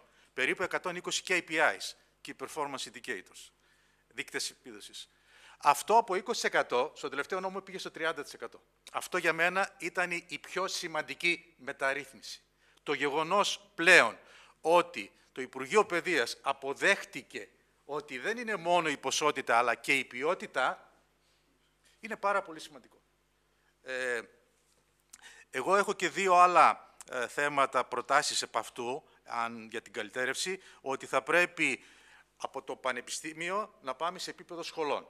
Δηλαδή πρέπει να υπάρχει διαφάνεια και επίσης μεγαλύτερη δημοσιότητα στο πώς αξιολογούνται με αυτά τα 120 κριτήρια που έχει σχέση την ποιότητα της φοιτητικής ζωής. Ξέρετε ότι υπάρχουν πανεπιστήμια τα οποία ακόμη δεν έχουν τμήματα υποστήριξης φοιτητών ψυχολογίας. Ξέρετε ότι υπάρχουν πανεπιστήμια τα οποία δεν δίνουν υποτροφίες σε φοιτητές. Αυτά είναι πάρα πολύ σημαντικά. Άρα, αυτή η πληροφορία πρέπει να δημοσιοποιείται. Το επόμενο βήμα είναι να πάμε σε επίπεδο σχολών, έτσι ώστε, γιατί αυτή τη στιγμή το ranking των σχολών και των τμήματων γίνεται αποκλειστικά και μόνο με τη βάση εισαγωγής. Εγώ είμαι τυχερός γιατί είμαι στο κορυφαίο τμήμα το διοικητικής επιστήμης στην ειδικότητα που είμαι. Αλλά πιθανόν να υπάρχουν άλλα τμήματα τα οποία είναι πολύ καλύτερα αλλά λάβουμε υπόψη αυτούς τους ποιοτικούς δείκτες. Άρα πρέπει να πάμε σε επίπεδο σχολών και η επόμενη καλυτέρευση είναι ότι αυτό το σύστημα πρέπει να ισχύσει και στα μη κρατικά πανεπιστήμια. Τα μη κρατικά πανεπιστήμια δεν μπορεί να είναι φορείς ή σωλήνες εκπαίδευσης. Το πανεπιστήμιο είναι κάτι άλλο. Δεν είναι μόνο εκπαίδευση. Είναι έρευνα και προσφορά στην κοινωνία και στην οικονομία. Και είναι αυτό ακριβώς το πλαίσιο που δημιουργήσαμε και πρέπει να σας πω ότι στην ΕΘΑΕ, στο Νότο του Συμβούλιο, δύο μέλη είναι πολύ γνωστοί καθηγητές Έλληνες του εξωτερικού, να μην πούμε τα ονόματά τους, δύο καθηγητές ελληνικών πανεπιστημίων και ο πρόεδρος. Και δεν διοριζόμαστε, είναι μια διαδικασία πάρα πολύ ανοιχτή, με υποψηφιότητες, μια πολύ γνωστή επιτροπή πολύ γνωστών ποιοτικών συναδέλφων κάνει το ranking και μετά περνάει από όλους τους Πριτάνης. Άρα κάθε Πρίτανης θα μπορεί να έχει θέμα με τον Δουκίδη και να του πει ότι το Δουκίδη για αυτούς και για αυτούς τους λόγους δεν θεωρεί ότι πρέπει να είναι αυτό. Άρα και αυτό είναι κάτι το οποίο μας πήρε αρκετά χρόνια, αλλά πέρασε και νομίζω ότι πρέπει η ΕΘΑΕ να υποστηριχτεί όπως και άλλες ανεξάρτητες αρχές. Είναι προς όφελος όλων μας. Πάμε τώρα σε αυτό το οποίο αναφέρεται, κύριε Πρόεδρε, που σχετίζεται με αυτά τα θέματα που ανέφερε και ο συνάδελφός μου και ο κύριος Γραβάνης, στο κατά πόσο το Πανεπιστήμιο είναι μοχλός ανάπτυξης. Δηλαδή είναι πυλώνας του αυτού που θέλουμε να είναι το επιχειρηματικό μοντέλο της χώρας μας. Αυτό γίνεται με δύο τρόπους. Ο πρώτος είναι πώς αξιοποιείται η έρευνα και ο δεύτερος που συζητήσαμε εκτενώς είναι η ποιότητα του ανθρώπινου δυναμικού ως επιστήμονες που θα υποστηρίξει αυτή την ανάπτυξη της χώρας. Είναι δύο διαφορετικά θέματα. Πάμε στο πρώτο, την αξιοποίηση της έρευνας. Αυτό είναι δύο πράγματα. Πρώτον, το κατά πόσον η έρευνα αξιοποιείται από το ελληνικό επιχειρηματικό οικοσύστημα. Εκεί έχουμε ένα πρόβλημα, γιατί πάντα τα τελευταία χρόνια υπάρχει ένα, μια διαφορά, η μεν και η δε, το οποίο σιγά σιγά συγκλίνει, αλλά το μεγάλο πρόβλημα είναι ότι οι ελληνικές επιχειρήσεις είναι μικρούς, μικρού μεγέθους. Άρα δεν έχουν τους πόρους να συνεργαστούν με ένα κορυφαίο εργαστήριο, το οποίο για να κάνει αυτή την έρευνα συνεργάζεται μόνο με διεθνείς εταιρείες. Αυτό είναι δύσκολο να το ξεπεράσουμε. Αλλά όμως έχουν γίνει σημαντικά βήματα. Το δεύτερο είναι η αξιοποίηση με αυτό που λέμε spin-offs. Δηλαδή, η έρευνα πλέον να γίνεται επιχειρηματική δραστηριότητα. Εκεί, με το νόμο Δήμα, το 2021, και αυτό μια σημαντική μεταρρύθμιση, εκεί που είχαμε 22 spin-offs, αυτή τη στιγμή έχουμε 152. Προσέξτε, αυτό είναι κάτι το οποίο δεν το περιμέναμε ούτε ο κύριος Δοξιάδης, ούτε ο κύριος Γραβάνης, ούτε και εγώ που ασχολούμαστε με αυτό το θέμα. Και θα ξεπεράσουμε σύντομα τις 200. Συνολικά στη χώρα, από 22. Άρα ένας νόμος, ο οποίος στην ουσία τι έκανε, έθεσε το πλαίσιο. Γιατί πριν όλοι φοβόμασταν πώς θα γίνουν τα spin-offs και τι θα πει ο συνάδελφος και τι θα πει ο πρίτανης κλπ. κλπ. Αυτοί είναι ξεκάθαροι οι κανόνες. Άρα εγώ νομίζω ότι εκεί πρέπει να δώσουμε μία ε, έμφαση και βέβαια πρέπει να ξέρετε ότι στο πλαίσιο αξιολόγησης της ΕΘΑΕ μία βασική μεταβλητή που δίνουμε πολύ μεγάλη έμφαση και έχει παίξει ρόλο είναι πόσα spin-offs δημιουργούνται και πόσες πατέντες. Αυτό πρέπει να σας πω ότι δημιουργεί μια πίεση, εγώ το ξέρω, τουλάχιστον σε τέσσερα πανεπιστήμια, ότι αυτό ήταν θέμα συζήτησης. Τι θα γίνει και γιατί έχουμε μόνο δύο spin-offs και το άλλο πανεπιστήμιο έχει 12. Γιατί είμαστε πίσω. Άρα και όταν δημοσιοποιείται αυτή η πληροφορία, προσέξτε, αυτά, αυτό δημιουργεί externalities, δηλαδή δημιουργεί πίεση στο σύστημα. Δεν χρειάζεται να κάνεις πολλά άλλα πράγματα. Ε, βέβαια, το σημαντικό είναι η χρηματοδότηση της έρευνας, που δεν πρέπει να τα ξεχνάμε και εκεί είμαστε δυστυχώς πάλι λίγο πίσω. Επιτρέψτε μου τώρα λίγο να πω για το ανθρώπινο δυναμικό, γιατί συζητήθηκε. Ε, ξέρετε ότι στην Ελλάδα το δικό μας οικονομικό μοντέλο υποστηρίζεται με περίπου 50.000 ετησίως, δηλαδή πρέπει κάθε χρόνο να μπαίνουν στην αγορά εργασίας περίπου 50.000 υψηλής ποιότητας επιστήμονες. Εισέρχονται στα ελληνικά πανεπιστήμια 70.000. Και μου λέτε, α, το λύσαμε το πρόβλημα. Μα δεν το λύσαμε. Προσέξτε, από τους 70.000 αποφυτούν μόνο οι 50.000. Άρα χάνουμε 20.000. Από τους 50.000 που αποφυτούν, μόνο 30.000 στην ουσία έχουν την ειδικότητα να υποστηρίξουν αυτό που λέμε ανάπτυξη της χώρας. Άρα χάνουμε άλλους 20.000. Και από αυτούς τους 30.000, μόνο 10.000 είναι έτοιμοι να μπουν στην αγορά εργασίας την επόμενη μέρα. Άρα τι έχουμε, εμείς οι επιστήμονες διοικητικής επιστήμης το λέγουμε ένα σύστημα το οποίο έχει μία δυνατότητα παραγωγής 70.000, αλλά στο τέλος παράγεις 10.000. Άρα πρέπει να, πάμε να, να, να, να δώσουμε πώς να μειώσουμε αυτά τα gaps. Το πρώτο είναι το πιο σημαντικό πρόβλημα. Το γιατί χάνουμε 20.000 που δεν αποφυτούν. Εκεί το πρόβλημα είναι οικονομικό. Πρέπει να δούμε, να δημιουργήσουμε μοντέλα οικονομικής ενίσχυσης των φοιτητών που πάνε σε επαρχιακές πόλεις. Πρέπει να καλυτερεύσουμε τον, τον τρόπο που λειτουργούμε και πολλά άλλα πράγματα. Τον επαγγελματικό προσανατολισμό. Το άλλο, το ότι από τους 50.000 που φοιτούν, οι 30.000 είναι για να υποστηρίξουν την οικονομική ανάπτυξη. Δεν σημαίνει ότι οι άλλοι 20.000 είναι άχρηστοι. Οι άλλοι 20.000 είναι αυτό που υπόθηκε πριν.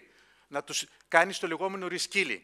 Δηλαδή, ένα παιδί που έχει σπουδάσει ψυχολογία είναι το καλύτερο στέλεχος για διαχείριση ανθρώπινου δυναμικού. Εμείς, για παράδειγμα, στο Πανεπιστήμιό μας, το 70% των παιδιών που έρχονται και κάνουν αυτό το μεταπτυχιακό προέρχονται από ανθρωπιστικές επιστήμες. Ένας βιολόγος είναι ο καλύτερος data analyst. Ένας μαθηματικός είναι ο καλύτερος να γράφει αλγοριθμικούς προγραμματισμούς. Άρα πρέπει αυτά τα παιδιά να ανοιχθούν και όχι μόνο στο μεταπτυχιακό. Αυτή τη στιγμή το πρόγραμμα Εράσμους που πέρασε στο νόμο, που επιτρέπει ένα παιδί να πάει για ένα εξάμεινο σε ένα άλλο τμήμα, είναι ό,τι καλύτερο είχε αυτός ο νόμος.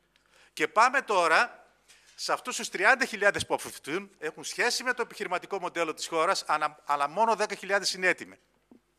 Τι γίνεται με αυτούς, ήδη αναφέρθηκε. Ποιοτικές δεξιότητες. Ξέρετε ότι εμείς οι καθηγητές των ελληνικών πανεπιστημίων δεν γνωρίζουμε τι σημαίνει ποιοτική δεξιότητα. Και όχι μόνο δεν γνωρίζουμε, αλλά επειδή εμείς αξιολογούμαστε από διεθνεί οργανισμούς στα, στα μεταπτυχιακά διοικητικής επιστήμης, μας λένε σε ποιο επίπεδο δεξιότητας στη συνεργασία είναι αυτός που έρχεται στο μεταπτυχιακό και μέσω ποιου τρόπου εσύ από το επίπεδο 3 θα το πας στο επίπεδο 5. Αν μιλήσεις αυτή τη γλώσσα σε 10 Έλληνες καθηγητές και οι 10 θα σε κοιτάνε με ανοιχτό στόμα. Δεν τα καταλαβαίνουμε αυτά, δεν τα γνωρίζουμε. Πρέπει να εκπαιδευτούμε εμείς για να καταλάβουμε το θέμα των ποιοτικών δεξιοτήτων. Επίσης, πρέπει να περάσει η πρακτική άσκηση πολύ πιο οργανωμένα. Δεν μπορεί να είναι από τα 450 τμήματα που αναφέρατε υποχρεωτική μόνο σε τέσσερα τμήματα. Γιατί σε τέσσερα τμήματα; Και όχι σε 44 ή 104 ή 204. Καταλάβατε. Άρα πρέπει όταν αυτά τα πράγματα τα κάνουμε και δεν είναι θεωρίες, και αυτά τα πράγματα αφορούν αποκλειστικά και μόνο τα πανεπιστήμια. Είναι η δουλειά των πανεπιστήμιων, δεν είναι η δουλειά του Υπουργείου. Αυτά πρέπει τα ίδια τα πανεπιστήμια να προβληματιστούν και μόνο έτσι θα μπορέσουμε αυτή τη στιγμή να φέρουμε το ελληνικό πανεπιστήμιο σαν βασικό πυλώνα οικονομικής ανάπτυξης. Άρα είναι δύο πράγματα. Η αξιοποίηση της έρευνας, το οποίο συζητήθηκε, και δεύτερον, το ποιοτικό επιστημονικό ανθρώπινο δυναμικό, το οποίο βγαίνει από το πανεπιστήμιο απλά πράγματα τα οποία δυστυχώς τα δίνουμε σε δικηγόρους να μας τα λύσουν πολλές φορές συζητάμε πολύ ωραία πράγματα μερικές φορές οι συγκλήτους κλπ. κλπ. Αλλά δεν ασχολούμαστε με το βασικό μας επάγγελμα που είναι πέρα από την έρευνα να πάρεις ένα παιδί το οποίο έρχεται σε μια ηλικία 18 ετών και προσέξτε, αυτό το παιδί πλέον δεν σπουδάζει μόνο μια φορά στη ζωή του και εδώ θα τελειώσω. Αυτό το παιδί πρέπει να σπουδάσει μια δεύτερη φορά στα 30 του και άλλες τουλάχιστον δύο φορές κατά τη διάρκεια της επαγγελματικής σου ζωής με lifelong learning. Η δεξιότητα του συνεχώς να μαθαίνεις είναι πολύ ουσιαστική δεξιότητα. Άρα, εμείς σαν πανεπιστήμιο, αυτή τη στιγμή δεν πρέπει να βλέπουμε μόνο τι κάνουμε στους προπτυχιακούς φοιτητές και τελειώνω. Δηλαδή, εάν παίρνουμε 75.000 πρωτοετής, πρέπει το ελληνικό πανεπιστήμιο να είναι πλέον έτοιμο να παίρνει άλλους 75.000 μεταπτυχιακούς. Αυτή τη στιγμή παίρνουμε 48.000, δεν είμαστε μακριά από το στόχο, προσέξτε και άλλους 150.000 στα κέντρα διαβίου μάθησης. Αυτή τη στιγμή είμαστε κοντά στις 80.000. Έτσι υποστηρίζεις το μοντέλο ανάπτυξης μιας χώρας. Ευχαριστώ. Βέβαια θα συμφωνήσετε ότι από τις 100.000 που είναι υποψήφοι κάθε χρόνο για τα πανεπι... Ε, υποψήφοι για την τριτοβάθμια εκπαίδευση, Κάποια στιγμή πρέπει επιτέλους να φτάσουμε το μέσο όρο του ΩΣΑ, δηλαδή οι 33.000 να μπαίνουν στα πανεπιστήμια και οι υπόλοιποι να διοχετεύονται στην τεχνολογική εκπαίδευση, τεχνική εκπαίδευση, κατάρτιση κλπ. Εγώ ανέφερα τους 50.000 γιατί ναι. αυτό είναι το νούμερο που χρειάζεται αυτή τη στιγμή η χώρα μας. Έτσι. Δεν είμαστε ούτε θέλουμε 70.000, Σωστό. γιατί οι γιατροί θα εκπαιδευτούν και θα πάνε να δουλέψουν στη Γερμανία. Άρα είμαστε αρκετά κοντά στα νούμερα. Λοιπόν, ε, ευχαριστώ πολύ τον Γιώργο. Ε, έχουμε μαζί μας επίσης τον ε, Σπύρο Δουκάκη, ο οποίος είναι επίκουρος καθηγητής πληροφορικής στο Ιόνιο Πανεπιστήμιο και τώρα πλέον και πρόεδρος του Ινστιτούτου Εκπαιδευτικής Πολιτικής και την Ευαγγελία Χολέβα, διδάκτορα και καθηγήτρια στο πρότυπο πανεπιστήμιο, ε, στο πρότυπο σχολείο, πρότυπο λύκειο, ε, πρότυπο λύκειο πλάκας, πρώτη, το Γενάδιο, μάλιστα. Λοιπόν, θα ήθελα να σας ρωτήσω, να ρωτήσω, όχι, θα, θα αρχίσω από τον, από τον Σπύρο. Έτσι, πάνω σε αυτά που υπόθηκαν σε σχέση με τι, γιατί μετά θα περάσουμε και σε εξειδικευμένες ερωτήσεις για το τι μας στέλνει στα πανεπιστήμια η δευτεροβάθμια εκπαίδευση, έτσι. Και γιατί υπάρχει η αγραμματοσύνη κλπ. κλπ. Αλλά σε δεύτερη φάση θα γίνει αυτό. Προς το παρόν θα ήθελα να σας ρωτήσω εάν έχετε παρατηρήσει πάνω σε αυτά που υπόθηκαν ε, από τους προλαλήσαντες ε, και σε ένα Σπύρο και σε ένα Ευαγγελία. Ευχαριστώ πολύ κύριε Βεσπολάκη. Θα μείνω στο τελευταίο του κυρίου Δουκίδη και από εκεί είναι μια πολύ ωραία πάσα για να συζητήσουμε ακριβώς το κομμάτι τι μας έρχεται από δευτεροβάθμια εκπαίδευση τριτοβάθμια και τι βγάζει την τριτοβάθμια εκπαίδευση προς τη δευτεροβάθμια μετά ως εκπαιδευτικούς. Οπότε ας το αφήσουμε λίγο αργότερα να το συζητήσουμε αυτό, αλλά είναι ένα πολύ ωραίο ζήτημα. Οπότε δεν έχω κάποιο άλλο σχόλιο επί του παρόντος. Λοιπόν, και εγώ να σας ευχαριστήσω με τη σειρά μου για την πρόσκληση, κύριε Πρίτανη. Ακούγομαι; Βέβαια. Okay. Εγώ θεωρώ ότι σε αυτά που άκουσα βρήκα αναλογίες με τα προβλήματα που αντιμετωπίζουμε εμείς στη δευτεροβάθμια εκπαίδευση. Για την πρωτοβάθμια δεν μπορώ να πω πολλά πράγματα. Έχω μια αίσθηση, αλλά δεν την υπηρετώ. Ε, άκουσα όρους όπως ριζική αναδιάρθρωση της εκπαίδευσης, Θεωρώ ότι θα ήταν το μεγάλο όνειρο το δικό μας.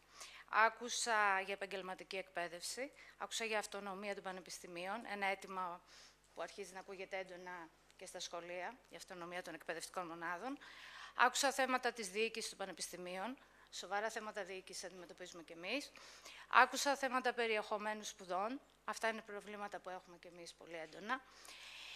Ε, δεν ξέρω αν μπορώ να τοποθετηθώ λίγο γύρω από τα προβλήματα που αντιμετωπίζουμε. Ε, να το κάνουμε σε δεύτερη φάση. Ναι, υπάρχουν όμως αναλογίες. Ναι. Θα υποστείτε σκληρές ερωτήσεις. Έχετε κάτι άλλο Όχι, όχι. Σε αυτή τη φάση, αφού δεν θέλετε να επεκταθούμε, θα το πούμε μετά. Για την επόμενη φάση. Ε, εντάξει. Εγώ θα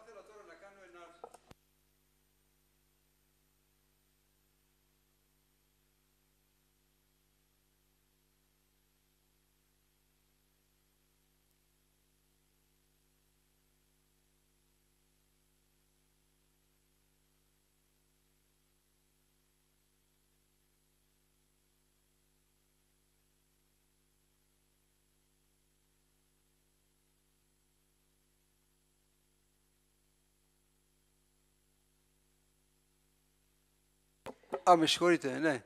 Θα ήθελα να σας ρωτήσω το εξής. Θα θυμάστε ότι στο νόμο 4.009 υπήρχε και το περίφημο άρθρο 58, το οποίο έλεγε ότι για να υπάρχει ευελιξία μέσα σε ένα πανεπιστήμιο να διαχειρίζεται την έρευνα, τα ερευνητικά προγράμματα, δηλαδή τη δημιουργία spin-off εταιριών ε, την, ε, και την περιουσία του Ιδρύματος, πρέπει να δημιουργηθεί ένα νομικό πρόσωπο ιδιωτικού δικαίου, το, το οποίο θα διοικείται από συμβούλιο που θα ορίζει το Συμβούλιο Διοίκησης και θα έχει επομένως μια ανεξαρτησία να μπορεί να κάνει αυτό που πρέπει.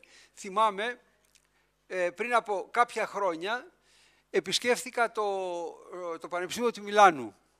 Λοιπόν, ντράπηκα όταν μου είπαν ότι έχουμε 44 spin-off εταιρείες ιδρύσει, μάλιστα δύο εξ αυτών προσφάτως έκαναν παραρτήματα και στον Καναδά. Λοιπόν, Αχιλέα. Καταρχάς, ε, μου έκανε πάρα πολύ εύκολη τη ζωή ο Γιώργος Ναι. και εγώ θα είμαι πρακτικός ε, και λίγο αυτοαναφορικός γιατί ε, πριν 19 χρόνια ίδρυσα την πρώτη spin-off εταιρεία με συναδέλφους και φοιτητές μου στο Πανεπιστήμιο Κρήτης σε ένα αντικείμενο το οποίο είναι ε, science fiction για την Ελλάδα που λέγεται Ανάπτυξη νέων φαρμάκων, drug development και ε, 19 χρόνια και πρόσφατα μια δεύτερη εταιρεία που έχει να κάνει με τις θεραπευτικές προσεγγίσεις τις νέες που δεν έχουν σχέση με τη χημεία αλλά με την εμβιομηχανική των ιστών και με τα κύτταρα, δηλαδή να χρησιμοποιούμε κύτταρα και ε, ιστούς ε, μέσα από εμβιομηχανική επεξεργασία για να ε, θεραπεύουμε διάφορα νοσήματα. Ε, η διαδρομή μου 19 χρόνια στο Πανεπιστήμιο ε, ε, αισθάνομαι την υποχρέωση να ε, αναφέρω την σημαντική προσφορά ενός άλλου μέλους της Επιτροπής του νόμου 4.009 του αείμνηστου Χρήστου Νικολάου Πρίτανη του Πανεπιστημίου Κρήτης, ο οποίος δεν είναι μαζί μας, ο οποίος ήρθε από, το, από τον IBM, από το Terrytown από τη Νέα Υόρκη, έκανε ε, τι- ε, ε, δουλειά που σχετίζονταν με μεταφραστική έρευνα και ήταν αυτός ο οποίος με βοήθησε να οργανώσουμε την ε, spin-off εταιρεία ε, μέρα μεσημέρι με τις σημαίες να ανεμίζουν μέσα στη σύγκλη του Πανεπιστημίου Κρήτης. Ε, τα λέω αναφορικά γιατί θα σας μεταφέρω ποια ήταν τα προβλήματα που αντιμετώπισα ε, και με έναν ε, ε, παράξενο για μένα τρόπο ε, τα, αντιμετώπισα, τα αντιμετωπίσαμε σαν ομάδα αποτελεσματικά. Καταρχάς, χρειαζόμαστε, όπως είπε ο, ο κύριος Δουκίδης, γραφεία μεταφοράς τεχνογνωσίας. Γιατί, Γιατί οι επισ- οι επιστήμονες, είτε είναι καθηγητές είτε είναι ερευνητές, δεν ξέρουμε πώς να μεταφέρουμε τη γνώση που παράγουμε στο εργαστήριο στην αγορά. Αυτό θα μας το μάθουν άνθρωποι της αγοράς. Μέχρι τώρα τα γραφεία μεταφοράς τεχνογνωσίας, τουλάχιστον τα περισσότερα που ξέρω, σ- στοιχειοθετήθηκαν, οργανώθηκαν, στελεχώθηκαν με στελέχη του Πανεπιστημίου, τα οποία δεν είχαν ιδέα για το αντικείμενο, ήταν παρόντα, ενδήλωσαν ενδιαφέρον και ήταν ερασιτέχνες. Δουλειά όμως για να περάσεις από μια ε, πρωτόλια ε, γνώση, βασική γνώση στην, ε, στο, στην, στην αγορά, ε, ε, δεν μπορούν να την κάνουν αυτοί οι άνθρωποι. Άρα πρέπει οπωσδήποτε τα γραφεία μεταφοράς τεχνολογίας να στελεχωθούν από ανθρώπους της αγοράς, όχι πανεπιστημιακούς ή πανεπιστημιακούς που έχουν κάνει ε, μεταφραστική έρευνα, έχουν κάνει τις εταιρείες τους, έχουν αποτύχει, έχουν πετύχει, γιατί η αποτυχία στον χώρο της ε, ε, ε, καινοτομίας είναι εκ των όνων κάνευ συνθήκη για να πετύχεις. Ε, δεν γεννιέται κανένας καινοτόμος ε, και είναι από την επόμενη μέρα καινοτόμος. Αποτυχαίνει πολλές φορές, είναι αρκετά ανθεκτικός, resilient και φτάνει τελικά να κάνει κάτι το οποίο είναι χρήσιμο και για την αγορά. Άρα τα γραφεία μεταφοράς τεχνογνωσίας και τεχνολογίας που να έχουν επαγγελματίες από την αγορά, από εκεί έξω. Χρειαζόμαστε καλά πληρωμένα για ακόμη μια φορά τέτοια στελέχη. Δεν θα έρθει κανένας με το μισθό του Αχιλέα του Γραβάνη, ο οποίος, να πω για άλλη μια φορά, το έχω γράψει. Ο μισθός μου, αγαπητοί φίλοι, 20 χρόνια καθηγητής πρωτοβάθμισης ιατρικής, είναι το 70% του μισθού που είχα σαν fellow στο Mount Sinai Hospital στο Columbia πριν από 35 χρόνια. Έτσι η χώρα δεν πάει μπροστά. Η κοινωνία πρέπει να πάρει αποφάσεις. Πού θα επενδύσει, ποιοι θα την βοηθήσουν όχι μόνο να επιβιώσει, που είναι και αυτό ένα θέμα, με αυτό που γίνεται παγκόσμια, αλλά να έχει ένα ευζήν. Η εκπαίδευση εκ των όνων κάνει σε όλες τις βαθμίδες, από την πρωτοβάθμια, τη δευτεροβάθμια και την τριτοβάθμια, απαιτεί επενδύσεις σοβαρές στα στελέχη της. Με μισθούς πείνας δεν μπορούμε να έχουμε τη σοβαρή παιδεία που έχουμε, παρά το φιλότιμο των Ελλήνων. Και βέβαια δεν μπορούμε να φέρουμε τα παιδιά μας απ' έξω στην Ελλάδα να μας βοηθήσουν να κάνουν update της τεχνολογίας, τα οποία δυστυχώς τα πανεπιστήμια μας για πολλούς λόγους, δεν είναι της ώρας να μιλήσουμε, δεν μπορούμε να το κάνουμε γρήγορα. Άρα χρειαζόμαστε η πολιτεία, η κοινωνία πρέπει να πιέσει για καλοπληρωμένους καθηγητές, δασκάλους σε όλες τις βαθμίδες. Και βέβαια να πιέσει και για καλοπληρωμένους πριτάνης, για καλοπληρωμένους διευθυντές α, ε, πανεπιστημίων οικονομικούς και καλοπληρωμένους, καλοπληρωμένα στελέχη στη μεταφορά τεχνολογίας. Χωρίς αυτούς δεν θα πάμε πουθενά. Ένα άλλο πρόβλημα το οποίο υπάρχει στη χώρα μας, που είναι ένα πρόβλημα το οποίο ε, υπο, ε, ε επισημαίνει την ε, βαλκανική μας κατά κάποιο τρόπο συμπεριφορά, είναι ότι χωρίς να έχουμε εμπειρία ανάπτυξης καινοτομίας μέσα στην, στο Πανεπιστήμιο, τα πανεπιστήμια θεωρούν ότι αυτά έχουν τον πλήρη έλεγχο της καινοτομίας και κατά συνέπεια ζητούν από τους καινοτόμους καθηγητές και φοιτητές το μεγαλύτερο ποσοστό της ε, επιχειρηματικής εκμετάλλευσης. Αυτό είναι και άδικο και δεν είναι παραγωγικό. Άδικο γιατί; Πάλι αναφορικά. 35 χρόνια καθηγητή στο Πανεπιστήμιο Κρήτης, γράψτε το. Το Πανεπιστήμιο Κρήτης και το ΙΤΕ δεν μου αγόρασε έναν υπολογιστή. Οι καρέκλες που έχω στο γραφείο μου και στα δύο ιδρύματα αγοράστηκαν από ενεργικά προγράμματα η μισθή των μεταπτυχιακών φοιτητών, των ερευνητών, όλα τα εργαλεία, όλες οι υποδομές αγοράστηκαν από ερευνητικά προγράμματα. Οι ε, καινοτόμες ιδέες των φοιτητών μου, των συνεργατών μου, οι οποίες παντενταρίστηκαν, παντενταρίστηκαν με χρήματα το βρήκε η ομάδα μας. Οι επενδυτές που επενδύσαν πάνω σε μας δεν βρέθηκαν από το Πανεπιστήμιο, αλλά από εμά και μόνο. Το Πανεπιστήμιο, λοιπόν, αγαπητοί φίλοι, και θέλω να το ακούσει η πολιτεία αυτό, δεν έχει το ηθικό ανάστημα να ζητάει παράλογα πράγματα από ανθρώπους που έχουν την καινοτομία στο κεφάλι τους, ξεμεροβαδιάζονται μέσα στο εργαστήριο, έχουν τις ιδέες, βρίσκουν τα χρήματα, είτε σαν ερευνητές, είτε σαν επιχειρηματίες και προσπαθούν να φέρουν αυτή την καινοτομία έξω. Τι προτείνουμε, τι προτείνω; Αυτό που γίνεται στο ΕΤХ στη Ζηρίχη, το Πανεπιστήμιο ζητάει πέντε ή αν υπάρχει μια μικρότερης εμβέλειας οικονομική ε, εκμετάλλευση, ε, όσο μικρότερη είναι η οικονομική εκμετάλλευση, το, το ποσό που μπορεί να φέρει στο Πανεπιστήμιο, τόσο είναι πρέπει να είναι μεγαλύτερο το ποσοστό. Αν μιλάμε για εκατοντάδες εκατομμύρια, τότε μπορεί να είναι μικρότερο. 5% είτε μετοχές και μάλιστα ορισμένα πανεπιστήμια μας έχουν φέρει σε εξαιρετικά δύσκολη θέση με τους επενδυτές μας, γιατί ζητούν να πάρουν undiluted μετοχές. Τι σημαίνει αυτό; Σημαίνει ότι αν πάρουν 10% της εταιρείας και έρθει αύριο μεθαύριο μια εταιρεία και επενδύσει στην εταιρεία α, Χ στο Οικονομικό Πανεπιστήμιο Αθηνών με 150 εκατομμύρια, ο επενδυτής θα βρεθεί το 18% ή το 10% των μη undiluted να μην α, υποστραφεί, γίνει diluted όπως όλοι οι άλλοι μέτοχοι. Κανένας επενδυτής δεν θα φέρει ένα ευρώ στην Ελλάδα μέσα από αυτές τις διαδικασίες. Άρα χρειάζεται ένα πλαίσιο το οποίο θα σέβεται τους Έλληνες ερευνητές και τους ξένους ερευνητές που έχουν μέσα και δεν θα τους χρησιμοποιεί σαν δούλους επιστημονικούς. ο τόνος της φωνής μου, Μάκη, ανεβαίνει, ναι. γιατί έχω ταλαιπωρηθεί πάρα πολύ. Και ταλαιπωρούμε ακόμα με μια πρόσφατη spin-off. Έτσι. Θα πάρει σειρά μετά η κυρία Χολέβα από την με τον ίδιο τόνο Επίσης, ο νόμος της κυρίας Κεραμέως ε, πρότεινε ειδικά για τα πανεπιστήμια πέντε διαφορετικές επιτροπές απόφασης για να ιδρυθεί μια εταιρεία. Αυτό δημιούργησε τεράστια προβλήματα. Το Πανεπιστήμιο Κρήτης και το ΙΤΕ, το οποίο θεωρείται κάπως πιο επιτυχές για, την, για τη spin-off, τα τρία τελευταία χρόνια δεν έχει καμία spin-off. Καμία. Έγιναν κάποιες αλλαγές, αλλά και αυτές με τον νόμο του κυρίου Πιαρακάκη δεν επαρκούν.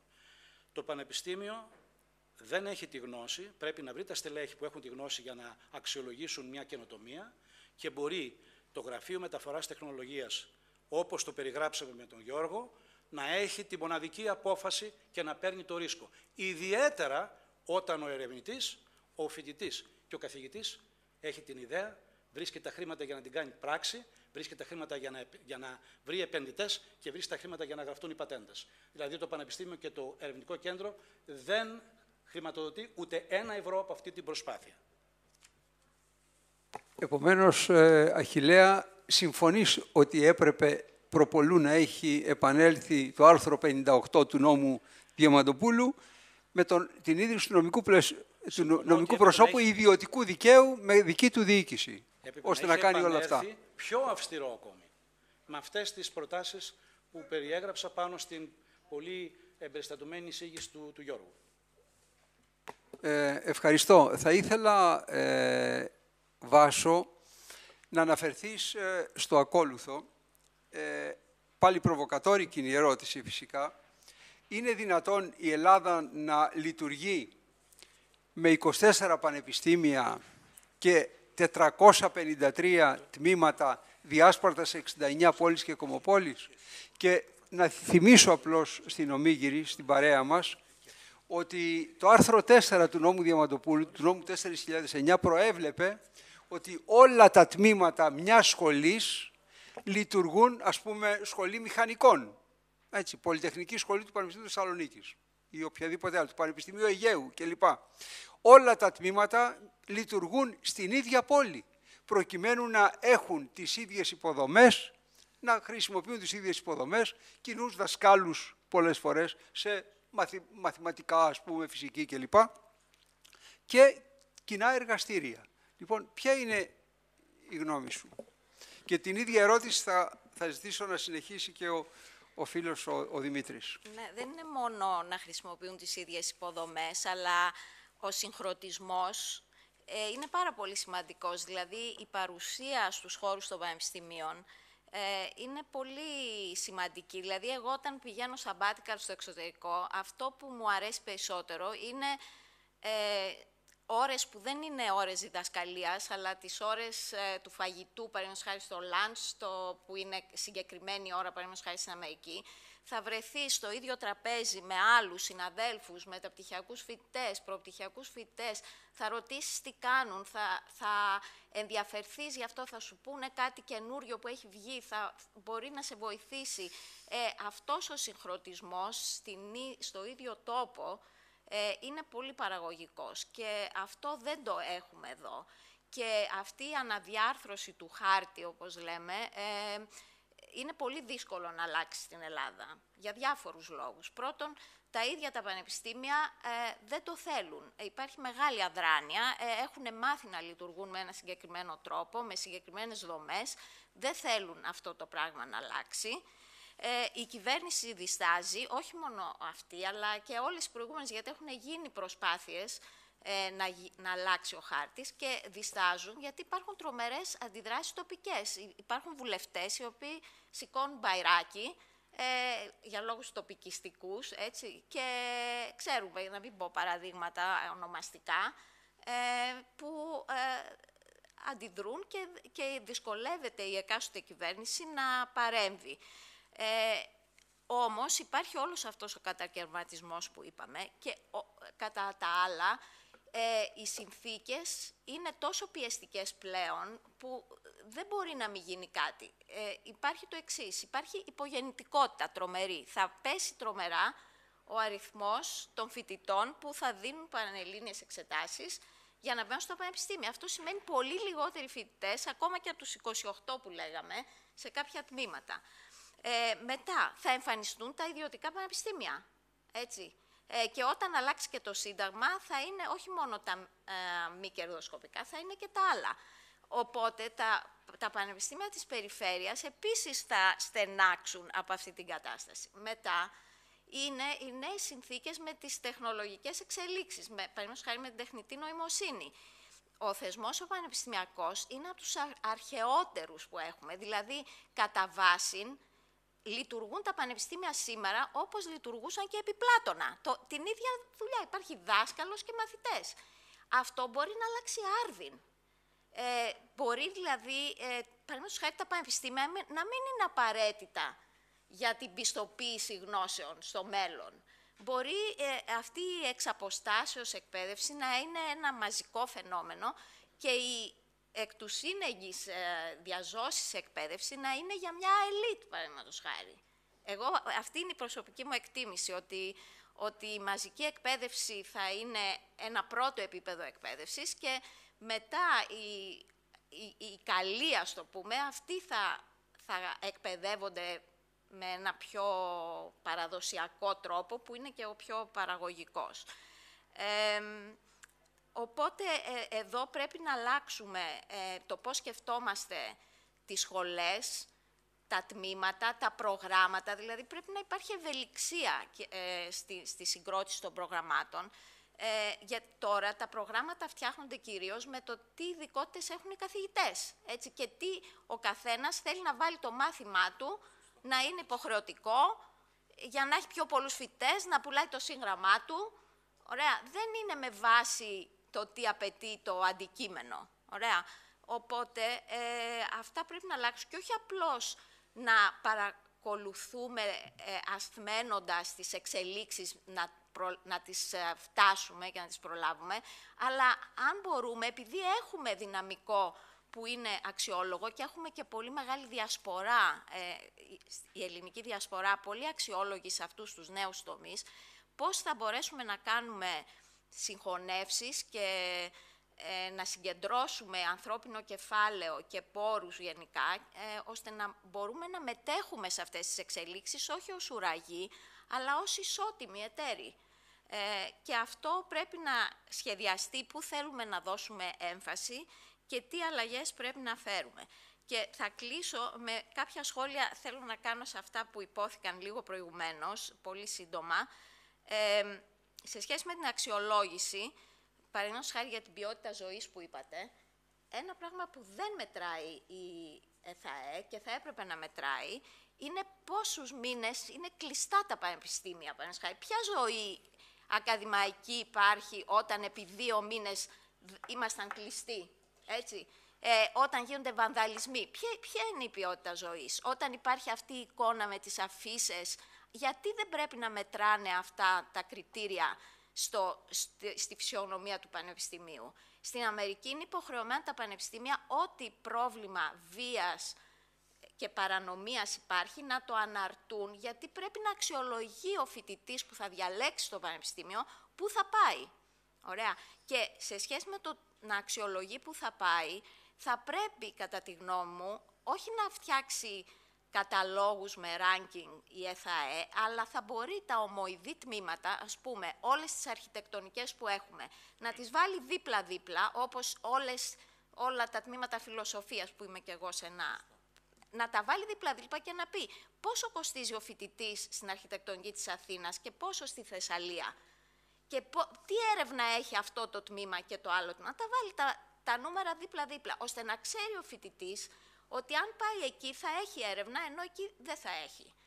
Και τέλος, ε, για το ζήτημα ε, των, αυτό που είπατε για την εκπαίδευση, ότι τα πανεπιστήμια ε, δεν μπορεί να κάνουν μόνο διδασκαλία. Εγώ διαφωνώ σε αυτό. Γιατί πρέπει να υπάρχει πολιτυπία των πανεπιστήμιων. Στην Αμερική, ξέρουμε, υπάρχουν τα liberal arts, τα κολέγια, τα οποία αναγνωρίζονται πάρα πολύ καλά σε όλο τον κόσμο ως ιδρύματα που δίνουν το πρώτο πτυχίο, το bachelor, τα οποία δεν έχουν έρευνα. Αυτό δεν σημαίνει ότι δεν αξιοποιούν τα αποτελέσματα της έρευνας τυχόν οι καθηγητές, απλώς δεν είναι υποχρεωμένοι οι καθηγητές να κάνουν έρευνα. Και αυτό είναι απολύτως θεμητό. Και μπορούν να το κάνουν και τα δημόσια πανεπιστήμια. Δεν πρέπει να έχουμε ένα μοντέλο για όλα, κατά τη γνώμη Πρέπει να υπάρχει πολιτυπία. Και ε, το τελευταίο που θέλω να πω είναι ότι για τα επαγγελματικά δικαιώματα όχι απλώς πρέπει να ανοίξουν, κατά τη γνώμη πρέπει να καταργηθούν. Δηλαδή πρέπει το ακαδημαϊκό δίπλωμα να αποσυνδεθεί από το επαγγελματικό δικαίωμα.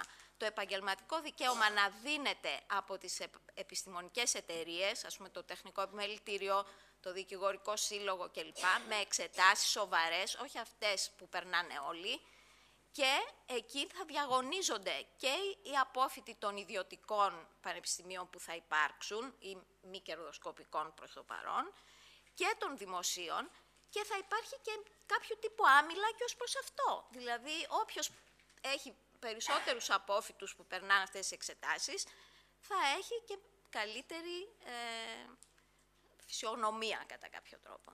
Όπως Αυτά. γίνεται στο εξωτερικό. Ναι. Ευχαρι- Εκεί για να πάρεις Ευχαριστώ πολύ, Βάσο. Προ, προς επίρρωση, προς επίρρωση, ε, αυτού που είπες για τα προσωποπαγή τμήματα, να αναφέρω το εξής. Το 2010, ίσως εσείς το θυμάστε, ε, τον Γενάρη μάλιστα του 2010, λίγο πριν βγει ο νόμος Διαμαντοπούλου, ήταν σχεδόν έτοιμος όμως, είχε βγει στη δια- διαβούλευση σχεδόν. Ε, κυκλοφόρησα μία, με, με τη σύμφωνη γνώμη του και του Βασίλη του Παπάζογλου και της Άννας Διαμαντοπούλου, κυκλοφόρησα μία μελέτη για το ποια πανεπιστήμια πρέπει να μείνουν, ποια να κλείσουν κλπ. κλπ. Δεν ξέρω αν τη θυμάστε. και τις αντιδράσεις. Λοιπόν, ναι, ευχαριστώ πολύ. Λοιπόν, δέχθηκα μετά από, από λίγες ημέρες ε, ένα τηλεφώνημα. Η γραμματέας μου λέει, κύριε Πρίτανη, μια, θέλουν μια συνέντευξη από την Λαμία. Λένε, γιατί κύριε Πρίτανη προτείνετε το τμήμα μας να κλείσει; Σημειωτένω ότι ήταν, είναι τμήμα η, ε, πληροφορικής με έμφαση στη βιοιατρική. Λέω, κοιτάξτε, διότι αυτό μπορεί να είναι το θέμα μιας διπλωματικής εργασίας σε δύο άτομα, ξέρω εγώ, κάθε χρόνο. Ναι, αλλά ξέρετε, λέει, δουλεύουν οι καφετέριες εδώ, δουλεύουν έτσι, δουλεύουν τα rooms to let ε, κλπ. κλπ. Ε, λοιπόν, τα είχα γράψει αυτά τω- τότε, όπως θυμάστε. Ε, έρχεται η τρικοματική κυβέρνηση και δίπλα σε αυτό το τμήμα γίνεται ένα δεύτερο τμήμα σκέτο πληροφορικής. Λοιπόν, κύριε Οικονόμου, Δημήτρη, Ευχαριστώ πάρα πολύ Γιώργο για την ε, συμμετοχή. Σε ευχαριστώ πάρα πολύ. Ξέρω ο κύριος, ε, ο Γιώργος ο φίλος έχει μία ε, ηλυμένη υποχρέωση σε ένα άλλο πάνελ που θα συμμετάσχει. Ευχαριστώ πάρα πολύ. Γεια. Ε, Δημήτρη, έχεις το λόγο. Στο θέμα το, μια και είσαι χωροτάκτης, σε παρακαλώ πες μας την άποψή σου για τα θέματα χωροταξίας των διάσπαρτων σε 69 πόλεις και κομοπόλεις πανεπιστημίων μας. Ωραία. Εγώ θα συνεχίσω πάλι από αυτά που είπε η κυρία Κεντή, διότι είναι και το αντικείμενο. κοινό. Κοιτάξτε, τι θα πει διάσπαση. Διάσπαση γεωγραφική. Ε, είναι σε δύο διαφορετικά επίπεδα. Ε, υπάρχει δι- διάσπαση χωροταξική, δηλαδή μεταξύ διαφορετικών πόλεων, να το πούμε έτσι, και υπάρχει και διάσπαση, κατακαιρματισμός μέσα στο εσωτερικό της ίδιας πόλης. Είναι δύο διαφορετικά πράγματα. Η χωροταξική διάσπαση είναι το πιο τρελό πράγμα που μπορεί να φανταστεί κανείς. Είπε η κυρία Κιντή ε, για το ενδεχόμενο ακόμα και μια σχολή να έχει δι- δι- διασπαρμένα τμήματα. Δηλαδή χάνονται κάθε έννοια ε, συνάφειας, ε, συνεργειών μεταξύ τμήματων που για να είναι στην ίδια σχολή είναι συγγενή και όλοι υποστηρίζονται. Ε, άρα λοιπόν, η χωροταξική διάσπαση προφανώς είναι κάτι το οποίο πρέπει να σταματήσει. Θα έρθω στο πώς θα μπορούσε να γίνει, γιατί δεν είναι ε, καθόλου προφανές το πώς θα μπορούσε να γίνει τη στιγμή που αυτό υπάρχει. Είναι η η υπαρκτή η χωρική διάρθρωση της ε, τριτοβάθμιας εκπαίδευσης. Ε, τώρα υπάρχει και το θέμα τι κάνουμε μέσα στις πόλεις, ιδίως στις μεγάλες πόλεις. Ε, άλλο τι κάνουμε μέσα στο Βόλο, άλλο τι γίνεται μέσα στην Αθήνα, όπου οι απο- χρονοαποστάσεις είναι τελείως άλλη τάξη μεγέθους. Ε, η στάνταρ λύση στο εσωτερικό των πόλεων είναι το κάμπους. Το οποίο κάμπους δεν πρέπει να είναι και στο κέντρο, για μια σειρά από λόγους που είναι προφανείς και θέλω να σου αναφέρω, πρέπει να είναι κάπου προς τα έξω. Ε, και έχει μια σειρά από θετικά και οικονομίες κλίμακας και οικονομίες συγκέντρωσης και δημιουργία ταυτότητας και μια σειρά από προφανή πράγματα. Ε, αυτά ισχύουν στον πολιτισμένο κόσμο. Στην Ελλάδα το κάμπους είναι μια πηγή ανομίας. Δε- Δεν λέω ότι όλα τα κάμπους είναι έτσι, βέβαια, αλλά ε- είναι ένας μεγάλος χώρος, ο οποίος δεν αστυνομεύεται και στον οποίο υπάρχει μια αντίληψη ότι ο καθένας κάνει του καπνίσει. Ε, σας θυμίζω, το πιο γνωστό παράδειγμα ίσως είναι το Αριστοτέλειο, όπου πραγματικά ε, αυτά που συμβαίνουν επί δεκαετίες είναι απίστευτα, αλλά λίγο πολύ τέτοια ε, προβλήματα υπάρχουν και αλλού. Άρα, Και στο λοιπόν, Πανεπιστήμιο Αθηνών, στο κάμπους του Πανεπιστήμιου στο Αθηνών. και στην Πανεπιστήμιου Πόλη και στην Πολυτεχνείου Πόλη. Στη, του Μεσοβίου. Του Μεσοβίου και στο Πανεπιστήμιο. Και στο ΟΠΑ. Και στο ΟΠΑ. Και στο ΟΠΑ. Ε, άρα λοιπόν, ε, στο, στο θέμα το, το, το εσωτερικό των πόλεων δεν μπορούμε να ακολουθήσουμε το διεθνές μοντέλο. Πρέπει να κάνουμε κάτι δικό μας, το οποίο να λαμβάνει υπόψη, υπόψη ότι η ανομία είναι μια, ένα, μια πάγια παράμετρος χαρακτηριστικό της λειτουργίας των ελληνικών πανεπιστημίων. Μέχρι να πάψει. Αλλά όπως και η κυρία Κιντή, δεν είμαι καθόλου αισιόδοξος ότι αυτά τα πράγματα θα πάψουν συντόμω. Τώρα, ε, τι μπορεί να γίνει; Παρόλα αυτά, μπορεί να γίνει κάτι. Εκ πρώτης όψεω φαίνεται δύσκολο. Τα πανεπιστήμια αυτά υπάρχουν, πώς μπορείς να τα πάρεις και να πα κάπου αλλού. Ο πρώτος τρόπος είναι κάποια, να κλείσεις κάποια τμήματα. Που πρέπει ούτως ή άλλως να γίνει και για τους ε, δημογραφικούς λόγους. Εσείς δεν το είπατε, κύριε. Ε, ε, Εσείς το είπατε. Ναι, ναι. Ότι θα μειωθεί ο αριθμός αφηγητών. Άρα κάποια θα κλείσουν ούτως ή άλλως. Και αυτά που θα κλείσουν είναι τα πιο ευάλωτα, είναι αυτά που είναι πιο απομονωμένα. Μια σχολή στα ψαχνά. Ένα τμήμα στα ψαχνά. Είναι προφανές ότι δεν είναι πανεπιστήμιο. Ακόμα και τους καλύτερους καθηγητές να έχει. Πανεπιστήμιο. Ή ένα τμήμα στο Ναύπλιο θεατρικής παιδείας, στιγμή που δέκα βήματα πιο πέρα στην Πάτρα υπάρχει πάλι θεατρικής παιδείας τμήμα. Ναι. Άρα λοιπόν, πρώτον πρέπει, θα κλείσουν κάποια εκ των πραγμάτων Άρα αυτός είναι ένας τρόπος να αρχίσει να, μειωθεί, να, να μειώνει τη χωροταξική διασπορά. Ε, από εκεί και πέρα, αυτό που πρέπει να γίνει κατά τη γνώμη μου, όχι ότι είναι καθόλου εύκολο, συμφωνώ πάλι απόλυτα με την κυρία Κιντή ότι οι αντιστάσεις είναι τεράστιες. Αλλά ξεχνώντας προς το παρόν τις αντιστάσεις, ε, να εστιάσουμε στο αν τεχνικά είναι δυνατόν. Τεχνικά, τεχνικά είναι δυνατόν να γίνει μια γεωγραφική αναδιάρθρωση μέσα στις πόλεις. Ε, είναι δυνατόν, αλλά χρειάζεται μακροχρόνιο πρόγραμμα. Δεν συζητάω πάλι για την πολιτική βούληση, προφανές. Ε, το οποίο θα αντιμετωπίσει το, το εξής ουσιαστικό πρόβλημα. Η βασική δυσκολία για τη γεωγραφική αναδιάρθρωση δεν είναι τα ίδια τα πανεπιστήμια και τα τμήματα. Είναι τα κτίρια. Ότι υπάρχουν κτίρια, και ειδικά στην, στην επαρχία, τα οποία έχουν κοστίσει και πολλά χρήματα και έχουν κατασκευαστεί και με κοινοτικούς πόρους πολύ συχνά, ε, τα οποία είναι εκεί που είναι τα κτίρια, δεν μεταφέρονται. Άρα, εκ πρώτης όψεως φαίνεται ότι αυτό είναι ένα εμπόδιο εξαιρετικά σημαντικό. Ε, κατά τη γνώμη μου, δεν είναι.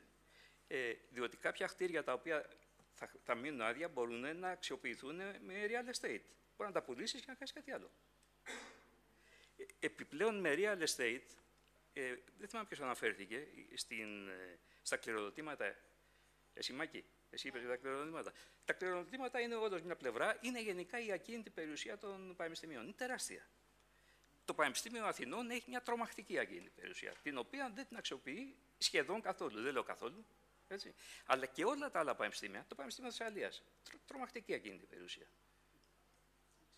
Και όλα, σχεδόν όλα τα άλλα, γιατί ε, με διάφορους τρόπους έχουν αποκτήσει μέσα στι ε, δεκαετίες που υπάρχουν ε, ακίνητα διάσπαρτα.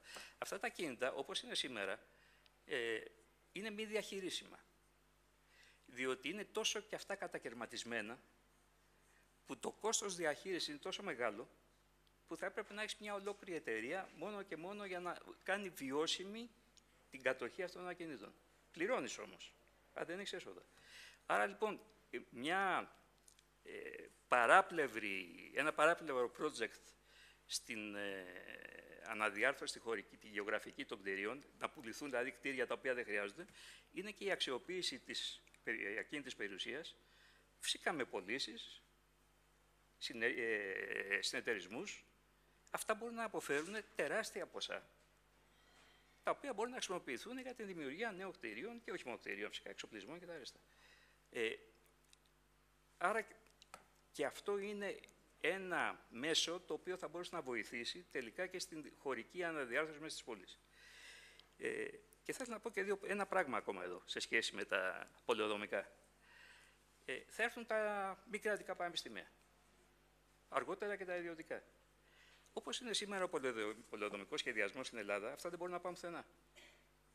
Ή δεν μπορούν να πάνε, εν πάση περιπτώσει, σε περιοχές να χωροθετηθούν, σε περιοχές τις οποίες θα ήταν εύλογο να θέλουν να χωροθετηθούν. Διότι το απαγορεύουν οι χρήσει γης, οι ε, οποίες υπάρχουν σε πολλές ελληνικές πόλεις. Λάθος οι περισσότερες, αλλά δεν πάβει να υπάρχουν. Ε, ποτέ στις χρήσει γης της ελληνικής πολεοδομίας δεν είχε ληφθεί υπόψη το ενδεχόμενο να μπορείς να χωροθετήσεις τριτοβάθμια επί, ε, ε, εκπαίδευση που δεν είναι κρατική. Αλλά λοιπόν απαγορεύεται. Ένα χαρακτηριστικό παράδειγμα είναι το ελληνικό, στο οποίο υπήρχε πολύ ενδιαφέρον για χωροθέτηση ε, τριτοβάθμιας εκπαίδευσης και για την ώρα δεν το έχουν καταφέρει γιατί πρέπει να αλλάξει όλο ο σχεδιασμός που έχει γίνει. Αυτό θα υπάρχει παντού.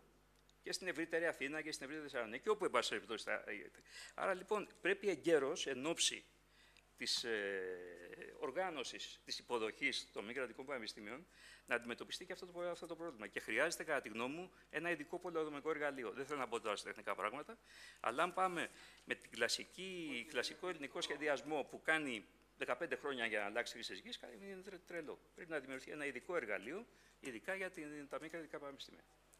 Ευχαριστώ πολύ. Και εγώ ευχαριστώ, Δημήτρη, γιατί μας είπες πράγματα τα οποία εμείς αγνοούμε. Πραγματικά τα αγνοούμε αυτά, είναι πάρα πολύ σημαντικά. Πάρα πολύ χρήσιμα. Χαίρομαι πολύ και σε ευχαριστώ. Ε, και τώρα να περάσουμε, θα, να περάσουμε στην δευτεροβάθμια εκπαίδευση. Είπαμε τα προβλήματα που υπάρχουν ακροθυγώς. Εγώ θα ήθελα να προσθέσω άλλο ένα πριν υποβάλω την ερώτηση προς την κυρία Χολέβα. Ε, ε, πολλές φορές έπαιρνα μαθήματα ε, πρωτο, πρωτοετών φοιτητών, γιατί ήθελα να υποδέχουμε τους πρωτοετής φοιτητές. Λοιπόν, σε πολυτεχνείο. Σε πολυτεχνείο. Οι άνθρωποι, ε, κατά κανόνα οι φοιτητές, αγνοούσαν τι σημαίνει κόλουρος κόνος, αγνοούσαν πώς μπορούμε να βρούμε τον, τον όγκο μιας σφαίρας ή τον όγκο ενός κόνου κλπ. κλπ. Έτσι. Ε, θυμάμαι όταν ήμουν, όταν ήμουν μαθητής προμνημονεύτων ετών και όχι επειδή ήμουν στη Βαρβάκιο πρότυπος σχολείο, αλλά σε όλα τα γυμνάσια αυτό διδασκόταν, η στερεομετρία. Στο Βαρβάκιο κάναμε λίγο παραπάνω από τους Ισουίτες, ε, Δημήτρη, ακριβώς, ναι, ναι. Αλλά παρόλα αυτά παντού, έτσι. Όλοι ήξεραν τι είναι κόλλουρος κόνος και λοιπά και λοιπά.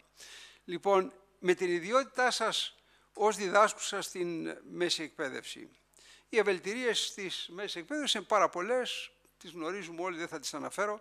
Πώς νομίζετε ότι μπορούν να βελτιωθούν και ποια μέτρα πρέπει να ληφθούν κατά τη γνώμη σας, δεδομένης της μεγάλης εμπειρίας σας ε, σε αυτό το τομέα; Με ποιο τρόπο μπορούμε να οθήσουμε τους, τους μαθητές να αναπτύξουν κριτική σκέψη και επειδή σκέφτομαι σημαίνει συνομιλώ με τον εαυτό μου, πώς θα τους κάνουμε να μάθουν να συνομιλούν, αλλά προϋπόθεση είναι να μάθουν πολύ καλά τη γλώσσα μας. Σας ακούμε. Ευχαριστώ. θα απαντούσαμε το προφανές με νέα προγράμματα σπουδών και νέους τρόπους διδασκαλίας. Θεωρώ ότι δεν είναι το μόνο μας πρόβλημα. Ε, αναρωτιόμουν όσο ώρα σας άκουγα αν εμείς φταίμε που εσείς έχετε τους φοιτητές που έχετε ή αν τα προβλήματα της τριτοβάθμιας τα χρεωνόμαστε και εμείς κατά κάποιο τρόπο. Ε, αυτή τη στιγμή υπάρχουν τόσα τμήματα και τόσα πανεπιστήμια ανά την Ελλάδα, κάποιοι πρέπει να πάνε να σπουδάσουν σε αυτό.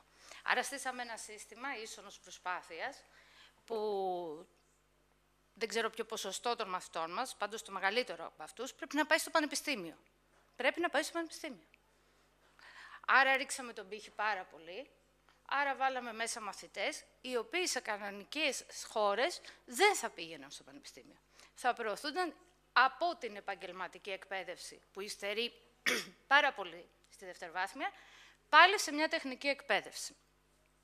Όταν ρίχνεις τον πύχη και όταν επί δεκαετίες έχεις φτιάξει ένα σχολείο ίσονος προσπάθειας, το οποίο εγώ το έζησα από μαθήτρια σε καθηγήτρια σήμερα και έβλεπα τον πύχη να πέφτει, δηλαδή όταν εγώ ήμουν μαθήτρια, ένας μαθητής που δεν εκπλήρωνε ένα μίνιμουμ υποχρεώσεων, γνώσεων, ή θα έμενε με μεταξεταστέως ή θα έμενε στην τάξη, σήμερα ένας μαθητής δεν μένει ποτέ, για κανένα λόγο. Ακόμα και στο γυμνάσιο που αν υποθέσουμε ότι μπορεί να μείνει, οι καθηγητές φροντίζουν να μην μείνει, για πολλούς λόγους. Ορίστε. Ακριβώς. Δεν ξέρω δηλαδή ποιος τελικά προκαλεί το πρόβλημα σε ποιον. Για παράδειγμα, ε, δεν είναι μόνο το γεγονός ότι τα πολλά τμήματα θέλουν πολλούς φοιτητές. Είναι ότι και οι πολλοί πτυχιούχοι κάπου πρέπει να δουλέψουν. Και με έναν τρόπο αυτόν τον ανορθολογισμό τον πληρώνει μετά η δευτεροβάθμια εκπαίδευση, η οποία πρέπει να απασχολήσει, έχει γίνει ο ΑΕΔ, τους πτυχιούχους της ε, τριτοβάθμιας. Άρα εδώ έχουμε έναν ορθολογισμό στα προγράμματα σπουδών τα οποία προγράμματα σπουδών εξυπηρετούν πάλι κάποιους που πιέζουν να διοριστούν στη δευτεροβάθμια εκπαίδευση και δεν εξυπηρετούν αυτό που έχει ανάγκη αγορά, για παράδειγμα. ε, έχω διαφωνήσει πολλές φορές με τον κύριο Δουκάκη στο αν χρειαζόμαστε την τρίτη ηλικίου, ας πούμε, θρησκευτικά ή αν χρειαζόμαστε μάθημα επιχειρηματικότητας. Αυτό είναι επικοδομητικό Ε, δεν διαφωνούμε γιατί έχουμε προσωπικά, παρά μόνο. Λοιπόν, ε, θέλω να πω ότι το είδαμε και από την προηγούμενη συζήτηση για την τριτοβάθμια εκπαίδευση. Πολλά πράγματα στην Ελλάδα, που είναι μια χώρα σου generis, δεν ξέρω, γίνονται επειδή κάποιοι πιέζουν για να γίνουν και δεν γίνονται με έναν σχεδιασμό, ο οποίος για μένα πρέπει να θέσει το βασικό ερώτημα. Πού θέλουμε να πάμε το εκπαιδευτικό σύστημα στον 21ο αιώνα; Και είμαστε ήδη στην τρίτη δεκαετία του 20ου αιώνα, 21ου αιώνα και ήδη έχει εμφανιστεί μπροστά μας τεχνητή νοημοσύνη η οποία όντως πιστεύω και εγώ αυτό που είπε η κυρία Κιντή, θα αλλάξει πάρα πολύ για το σχολείο. Αν με ρωτήσετε πού θέλει να πάει αυτή τη στιγμή το δημόσιο σχολείο και το ιδιωτικό, το ιδιωτικό έχει βρει και τρόπους να στέλνει τους ανθρώπους του στο εξωτερικό. Δεν έχω απάντηση. Εδώ και πολύ καιρό συνηθίζω να λέω ότι το γυμνάσιο είναι μια μαύρη τρύπα. Ξέρει κανείς τι στόχο έχει το γυμνάσιο. Στην πραγματικότητα το γυμνάσιο είναι αυτό που θα έπρεπε να ολοκληρώνει τις εγκύκλες σπουδές των παιδιών. Έτσι δεν είναι; Είναι το τέλος της βασικής εκπαίδευσης. Πώς γίνεται αυτό που παραπονιέστε εσείς στο, στο πανεπιστήμιο, να έχετε μαθητέ που δεν ξέρουν να γράφουν, να μιλάνε ή να μετράνε τον όγκο, να το αντιμετωπίζω κι εγώ στο Λύκειο, δεν θα έπρεπε εγώ να το έχω ελλημένο και εσάς να σας δώσω κάτι περισσότερο, αυτό που λέτε εσείς στην ανάπτυξη της κριτικής σκέψης; Λοιπόν, εγώ δεν το έχω λυμμένο. Εγώ έχω μαθητές οι οποίοι ενώ έχουν περάσει έξι χρόνια πρωτοβάθμια, τρία χρόνια γυμνάσιο, έρχονται και δεν ξέρουν να γράψουν. Παραδόξως, το 80% των μαθητών, μπορεί να λέω λάθος το νούμερο, αλλά το μεγάλο μέρος των Ελλήνων μαθητών, μέσα από μια αδράνεια του συστήματος που έρχεται από τις εποχές που η εκπαίδευση ήταν μέσω κοινωνικής κινητικότητας, προωθείται προς τα γενικά λύκεια και όχι προς την επαγγελματική εκπαίδευση. Έτσι, τα γενικά λύκεια έχουν μέσα μαθητές που κανονικά έπρεπε να βρίσκονται σε επαγγελματικά λύκεια και, τα, και που τους χρειάζεται η αγορά εν τέλει. Αυτά τα παιδιά στο Λύκειο τρία χρόνια απλά περιφέρονται. Απλά ταλαιπωρούν εμάς και εμείς ταλαιπωρούμε αυτά. Πολλές φορές γίνεται συζήτηση γιατί, παιδί μου, δεν βρίσκεσαι σε ένα επαγγελματικό λύκειο που θα σου εξασφαλίσει και ένα καλύτερο μέλλον επαγγελματικό. Πολλές φορές έχουμε μια εύλογη απάντηση. Ότι υπάρχει σοβαρή παραβατικότητα στα επαγγελματικά λύκεια, άρα και ο γονιός και το παιδί δεν θέλουν να πάνε σε επαγγελματικό λύκειο. Ήδη έκανε ένα βήμα η κυβέρνηση χθες. Πολύ αισιόδοξο θέλω να πω για τα θέματα της παραβατικότητας στα σχολεία πρέπει να πέσουμε πάνω σε επαγγελματικά λύκεια. Τα επαγγελματικά λύκεια θα πρέπει να έχουν τη μερίδα του λέοντος αυτό που λέγεται ηλικιακή εκπαίδευση. Και θα πω ότι έχουν και καλύτερες υποδομές από εμάς. Εμείς σοβαρά προβλήματα κτηριακά. Είναι λάθος αυτό που λένε. Έχουν επενδυθεί πολλά λεφτά. Εγώ, όταν πηγαίνω επιτηρήτρια ή εξετάστρια σε επαγγελματικά λύκεια, βλέπω εργαστήρια που εγώ δεν έχω καρέκλα. Στο, στο, πραγματικά δεν έχω καρέκλα. Ε, και υπολογιστή. Ε, άρα, δεν γίνεται η Γερμανία να στέλνει περισσότερο κόσμο στα επαγγελματικά λύκεια και εμείς να τη στέλνουμε γιατρούς. Και εμείς να παίρνουμε τα παιδιά στα γενικά λύκεια που δεν έχουν λόγο ύπαρξη στα γενικά λύκεια και να μην τα προωθούμε σε επαγγελματικά λύκεια ή ακόμα και να δούμε και, άλλες, ε, και άλλου είδους λύκεια, π.χ. καλλιτεχνικά λύκεια. Έχουμε πάρα πολύ υποτιμήσει το θέμα του πολιτισμού και των τεχνών στην εκπαίδευση, θέλω να πω, και θεωρώ ότι είναι πάρα πολύ σημαντικό. Και υπάρχει τρόπος να ενταχθεί. Λοιπόν, η αθλητικά λύκεια. Έχουμε παιδιά που περιφέρονται στα γενικά λύκεια και το όνειρό τους είναι να γίνουν ποδοσφαιριστές. Τα παιδιά αυτά δεν ξέρουν να γράφουν το όνομά τους. Δεν έχω καταλάβει γιατί βρίσκονται στα γενικά λύκεια. Ούτε αυτά τα δόλια έχουν καταλάβει. Εδώ λοιπόν, εδώ λοιπόν υπάρχει και ένα πρόβλημα. Σε αυτό το γυμνάσιο που πραγματικά είναι μαύρη τρύπα, θα έπρεπε να γίνεται ένας σοβαρός επαγγελματικός προσανατολισμός. Θα έπρεπε το σύστημα να οδηγεί το παιδί στην κλίση του. Δεν είπα να το βιάσει να πάει κάπου που δεν θέλει. Είπα να το βοηθήσει να ανακαλύψει την κλίση του. Έχω παιδιά στη Δευτέρα Λυκείου που λένε «Κυρία, δεν ξέρω πού να πάω, δεν ξέρω τι να κάνω». Ή στην Τρίτη Λυκείου. Προσπαθούμε μόνοι μας, από τον πατριωτισμό μας, να τους δείξουμε ανθρώπους ειδικούς με βίντεο, με, με, με, να τους φέρουμε στο σχολείο, για να βρούνε πού θα πάνε αυτά τα δόλια τα παιδιά που έχουν έρθει σε ένα λύκειο που δεν ξέρουν γιατί είναι σε αυτό. Ένα λύκειο που μαθαίνουν πολλά αρχαία, που δεν θέλουν να τα μάθουν και που σε αυτά τα... που δεν τα υποτιμώ καθόλου, αλλά θα μπορούσαν να υπάρχουν κλασικά λύκεια. Ε, και αυτά τα παιδιά στερούνται κοινωνικών δεξιοτήτων, ε, γνώσεων για την κοινωνία, γνώσεων για την οικονομία, ε, για την επιχειρηματικότητα. Είναι χαμένα και αυτά και εμείς. Τώρα, για την κριτική. Περιμένουμε κι εμείς με μεγάλη αγωνία τα καινούργια προγράμματα σπουδών. Στο δικό μου τομέα τα έχω δει και τα έχω επιμορφωθεί και έχω επιμορφώσει. Είναι ένα βήμα, αναμφισβήτητα θετικό είναι ένα βήμα προς την ανάπτυξη της κριτικής που θα μας βάλει λιγότερο στο πώς μαθαίνω, ε, στο μαθαίνω πράγματα, αλλά στο θα αναπτύξει αυτό που είπατε και πριν, πώς αποκτώ τη δεξιότητα για να μάθω πράγματα. Μόνο που με το πρόγραμμα, το ορολόγιο που έχουμε στα Λύκεια, δεν γίνεται να εφαρμοστούν αυτά τα προγράμματα σπουδών. Και εδώ έχουμε ένα πρόβλημα επικοινωνίας με τα ανώτερα κλιμάκια. Δηλαδή, εγώ υπηρετώ ένα πρότυπο Λύκειο. Είναι ένα Λύκειο που έχει καθηγητές αυξημένων προσόντων, είναι, και όπως όλα τα άλλα πρότυπα επιχειρηματικά λύκεια, έχει εφαρμόσει τα προγράμματα σπουδών, γιατί αυτός είναι ο σκοπός μας να τα δούμε στην πράξη. Πολλοί από εμάς έχουμε υπάρξει επιμορφωτές, δηλαδή έχουμε επιμορφώσει συναδέλφους, και εγώ έχω επιμορφώσει συναδέλφους ιδιαίτερως αυξημένων προσόντων, που έχουν διδάξει σε πανεπιστήμια του εξωτερικού. Και αυτοί είχαν την έγνοια να επιμορφωθούν και όχι ο μέσος εκπαιδευτικός. Εδώ είναι ένα παράδοξο, σημειώστε το. Είχα τέτοιους συναδέλφους, δηλαδή υπερτερούσαν και των δικών μου προσόντων οι άνθρωποι και αυτοί μπήκαν να επιμορφωθούν. Όλοι παρατηρήσαμε, στο δικό μου αντικείμενο μιλάω πάντα, ότι αυτό το ορολόγιο πρόγραμμα, αυτή η δομή του σχολείου δεν μπορεί να υπηρετήσει τα προγράμματα σπουδών.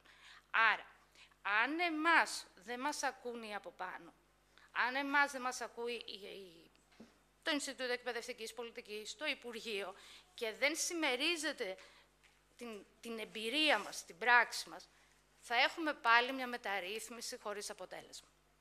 Κάτι ανάλογο που έγινε με την αξιολόγηση. Η αξιολόγηση συμφωνώ ότι έπρεπε να περάσει, συμφωνώ ότι σπάσαμε τα ταμπού, ήδη έχω γράψει άρθρο πώς πάμε τα ταμπού της αξιολόγησης, πρέπει να την ξαναδούμε. Είναι μια γραφειοκρατία άνευ αποτελέσματος. Την έχω μόλις περάσει, τι να σας πω, ότι, ότι αγανάκτησα εγώ που την υποστήριζα. Καμία ουσία. Καμία απολύτως. Και κάτι άλλο. Δεν γίνεται σε ένα εκπαιδευτικό σύστημα να αξιολογείται ο ένας και να μην αξιολογείται ο άλλος. Δεν γίνεται να έχουμε... Η εκπαίδευση είναι ένα ταγκό για δύο. Αξιολογείται ο εκπαιδευτικός, επιμορφώνεται ο εκπαιδευτικός με τον τρόπο που επιμορφώνεται, και εδώ έχω πολλές ενστάσεις, και ο μαθητής απλά περνάει τις τάξεις επειδή αναπνέει. Έχουμε βρει όλους τους πιθανούς τρόπους να του δικαιολογούμε τις απουσίες. Κάτι πάει να γίνει και εδώ να δούμε. Εκτός από τις 114 στέλνουμε κάτι περίφημες εγκυκλίους στο τέλος της χρονιάς. Δικαιολογήστε για ανωτέρα βία, δικαιολογήστε για COVID, δικαιολογήστε για γρήπη, δικαιολογήστε για ημικρανία. Και οι 114 γίνονται 214. Δεν γίνεται να είναι τουρίστες ο μαθητής. Η μάθηση θέλει συνέπεια. Δεν γίνεται ο μαθητής να δικαιολογείται μονίμως. Δεν γίνεται ο μαθητής να γράφει ένα και να βρίσκεται στο πανεπιστήμιο. Γιατί και με τη βάση, ο μαθητής βρίσκεται στο πανεπιστήμιο με 8 βάση. Ο μαθητής παίρνει απολυτήριο επειδή έχει γυμναστική 20, θρησκευτικά 18 και σε όλα τα μαθήματα σκέψης, γλώσσας, μαθηματικών είναι κάτω από τη βάση. Σε όλα. Αν δείτε απολυτήριο λυκείου, θα δείτε μαθητή να περνάει με γυμναστική, θρησκευτικά, κοινωνική, τι άλλο έχει στην τρίτη, Γλω... Ναι, τα βασικά του μαθήματα είναι όλα κάτω από τη βάση. Και αυτός ο άνθρωπος έχει πάρει απολυτήριο ηλικίου. Ένα πράγμα που έχουμε ξεχάσει και πολύ συχνά το λέω και στους μαθητές μου, όταν νομίζουν ότι κάνουμε τουρισμό στην τάξη και στους γονείς, το Λύκειο δεν είναι υποχρεωτικό. Νομίζω ότι δεν το έχει καταλάβει η ελληνική κοινωνία αυτό. Εγώ δεν λέω ότι τα παιδιά πρέπει να γυρνάνε στους δρόμους. Εγώ λέω ότι πρέπει να συνειδητοποιήσουν οι μαθητές και οι γονείς τους γιατί βρισκόμαστε στο Λύκειο. Και κυρίως να συνειδητοποιήσουν σε ποιο Λύκειο πρέπει να βρεθούν.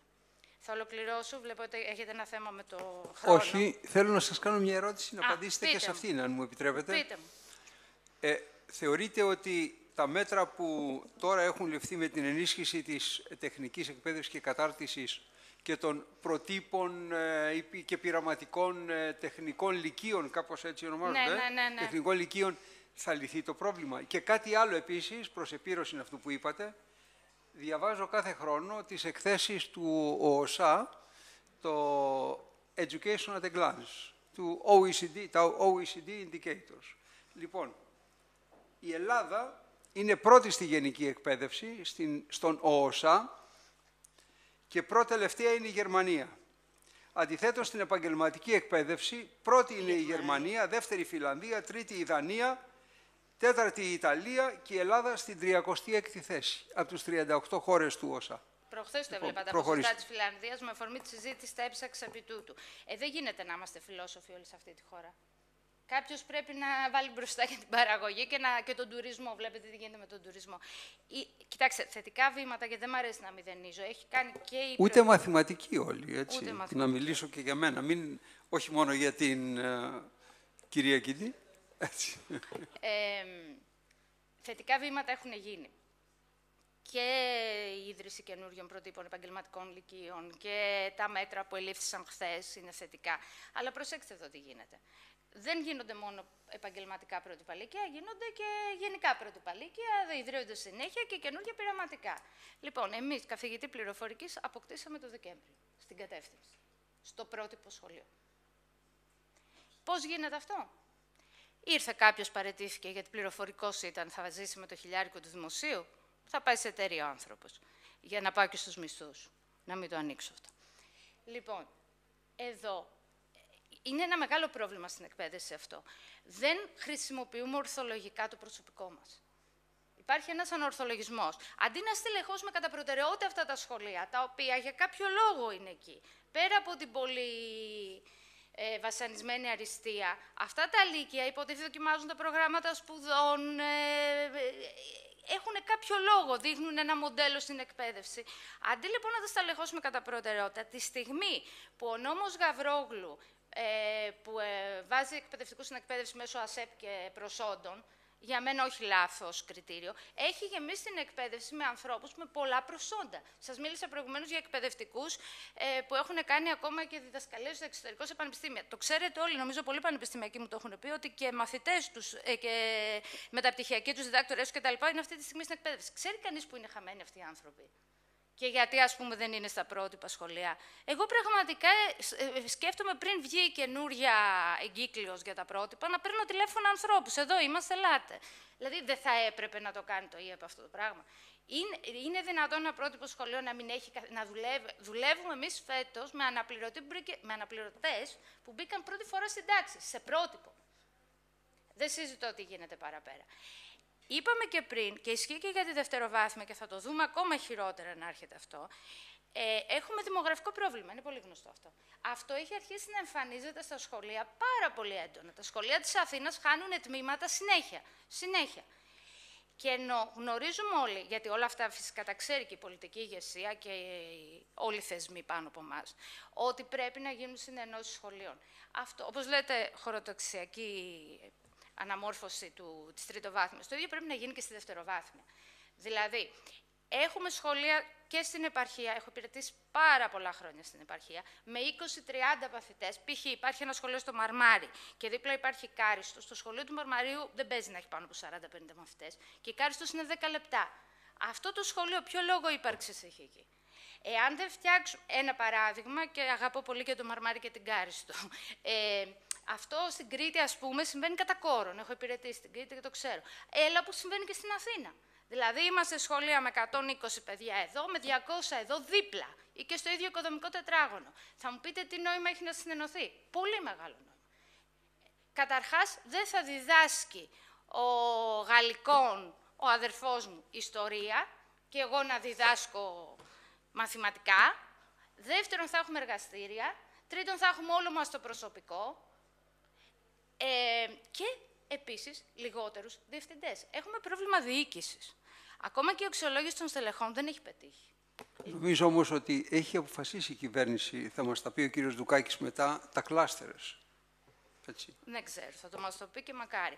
Είδαμε λοιπόν, όταν έχεις τόσο μικρές μονάδες, οι οποίες δεν βρίσκουν στελέχη να στελεχωθούν, βλέπαμε ότι ερχόντουσαν προσκλήσεις συνέχεια. Σχολείο τάδε, επαρχία τάδε, νομός δράμας.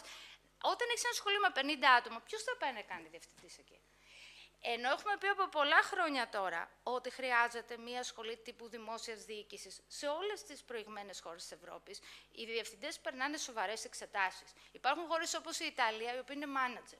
Εμείς έχουμε, λυπάμαι που το λέω, πολλές φορές διευθυντές οι οποίοι δεν μπορούν να διαχειριστούν πολλά πράγματα. Άλλοι δεν έχουν διοικητικές ικανότητες, άλλοι δεν μπορούν να διαχειριστούν το προσωπικό. Και μην ξεχνάμε ότι αυτοί οι διευθυντές είναι αξιολογητές αυτή τη στιγμή. Δεν δικαιούσε να, δίνεις, να έχεις στελέχη, μην πω και για συμβούλους, τα οποία έρχονται στην εκπαίδευση με κάποια χαρτιά, τα γνωστά μεταπτυχιακά των 360 ωρών, απληρωμένα κτλ. Και δεν είναι ικανοί να διαχειριστούν είτε το προσωπικό, είτε τους μαθητές, είτε τους γονείς ή μια τεράστια γραφειοκρατία που ακόμα έχουμε. Έχουμε και πρόβλημα στελεχών. Χρειαζόμαστε μεγάλες μονάδες σχολικές, οι οποίες θα έχουν και αυτές εργαστήρια, οι οποίες θα έχουν πολύ ικανά διευθυντικά στελέχη, αξιολογημένα, όχι με αυτή την αξιολόγηση θα έλεγα, οι οποίες θα έχουν ειδικότητες, οι οποίες θα, θα αξιοποιούν ε, πώς το λένε, ορθολογικά το διδακτικό τους προσωπικό. Και κλείνω με ένα τελευταίο. Έχω υπηρετήσει πολλά χρόνια στα νησιά και σε τουριστικές περιοχές, π.χ. Κυκλάδες Δωδεκάνησα. Ε, τελευταία έχει αρχίσει μια συζήτηση για την αυτονομία των σχολικών μονάδων. Η αλήθεια είναι ότι είμαστε σε ένα σοβετικό μοντέλο διοίκησης, τα πάντα έρχονται από πάνω. Αντιλαμβάνομαι την πολύ τους λόγους, δηλαδή επειδή έχουμε και έναν ισχυρό συνδικαλισμό, ο οποίος υπονομεύει πολλά πράγματα, καμιά φορά μπορεί να χρειάζεται αυτό και νομίζω ότι χρειάζεται. Θα, θα μπορούσαμε να ξεκινήσουμε από τα πρότυπα σχολεία, να δοκιμάσουμε ένα μοντέλο αυτονομίας σχολικής μονάδας, πέρα από τις βασικές εγκύκλες σπουδές ή τα αντικείμενα, να δούμε τι μπορεί να δημιουργήσει ένα σχολείο μόνο του. Δηλαδή, τι, τι αντικείμενα, τι, δράση, τι γνωστικά αντικείμενα, τι δράσεις, πώς μπορεί να αξιοποιήσει το, το πρόγραμμά του. Επίσης, θα πρέπει να συνδέσουμε τα σχολεία μας με την οικονομία. Στις τουριστικές περιοχές τα παιδιά δεν ενδιαφέρονται να μάθουν ξενοφόντα. Ούτε πλάτωνα. Τα παιδιά αυτά πρέπει εκεί να ενισχύσουμε την επαγγελματική εκπαίδευση, συνδέοντάς την με την οικονομία των περιοχών αυτών. Θα κλείσω μόνο με αυτό, γιατί σας βλέπω ότι έχετε αγωνία με το χρόνο. Κάποτε στη Μύκονο προσπαθούσα να πείσω μία μαθήτρια ε, για το αγαθό της παιδείας. Ε, στη Μύκονο, που καταλαβαίνετε τη χρήμα κυκλοφορεί, έτσι. Και γυρνάει το κοριτσέ και μου απάντησε, γιατί, για να γίνω σαν και εσάς. Με αυτό κλείνω. Ευχαριστώ πολύ, ε, Ευαγγελία Κουλέβα. Ε, κύριε Δουκάκη, έχετε άπλετο χρόνο, όλος είναι δικό σας, να απαντήσετε σε όλα αυτά που ακούσατε και με την ιδιότητα βέβαια του Πρόεδρου του Ινστιτούτου Εκπαιδευτικής Πολιτικής, να σας πω ότι η μέση εκπαίδευση θεωρούμε ότι είναι ο πυλώνας δόμησης της κοινωνίας. Έτσι. Λοιπόν, πώς σκέφτεται το Ινστιτούτο ε, να παρέμβει με προτάσεις προκειμένου να πάψει η χώρα μας να αποτελεί τον παρία σε διεθνείς διαγωνισμούς, π.χ. PISA, έτσι, λοιπόν, για τα 15 χρόνια. Και όχι μόνο αυτό, πώς θα πείσουμε, πώς θα φέρουμε, θα εμπνεύσουμε τους μαθητές να, να, να σκέφτονται με κριτικά, να σκέφτονται κριτικά το κρίμα γιώτα, έτσι. Πώς θα τους κάνουμε να αποκτήσουν γνώσεις και να αγαπήσουν την γνώση. Λοιπόν, ε, και επίσης πώς θα πείσετε τους διδάσκοντες ε, επιτέλους να δεχθούν όχι μόνον ε, αγόγγιστα, αλλά να επιθυμούν την αξιολόγησή τους, προκειμένου να γίνει η απαιτούμενη επιμόρφωση στη συνέχεια, ώστε και αυτοί να έχουν καλύτερη παρουσία μέσα στα σχολεία. Έχετε το λόγο. Ευχαριστώ, ευχαριστώ θερμά. Ε, πριν από ένα μικρό διάστημα επιμεληθήκαμε ένα βιβλίο, το πρώτο κεφάλαιο του οποίου έλεγε «Ποιος είναι ο σκοπός εκπαίδευσης». Και το ερώτημα αυτό, αν το θέσουμε μεταξύ μας, θα δούμε ότι θα πάρουμε διαφορετικές απαντήσεις και διαφορετικές οπτικές. Και μάλιστα υπάρχει και ακραία οπτική που λέει ότι η εκπαίδευση δεν είναι τίποτα άλλο από ένα τεράστιο σύστημα απασχόλησης. Ένα σύστημα απασχόλησης όμως όχι για τους εκπαιδευτικούς, αλλά για τους γονείς. Για να μπορέσουν αυτοί να δουλεύουν. Και τα παιδιά να πηγαίνουν στο σχολείο για κάπου να, να είναι κακή η φράση, θα πω, να τα φυλάμε.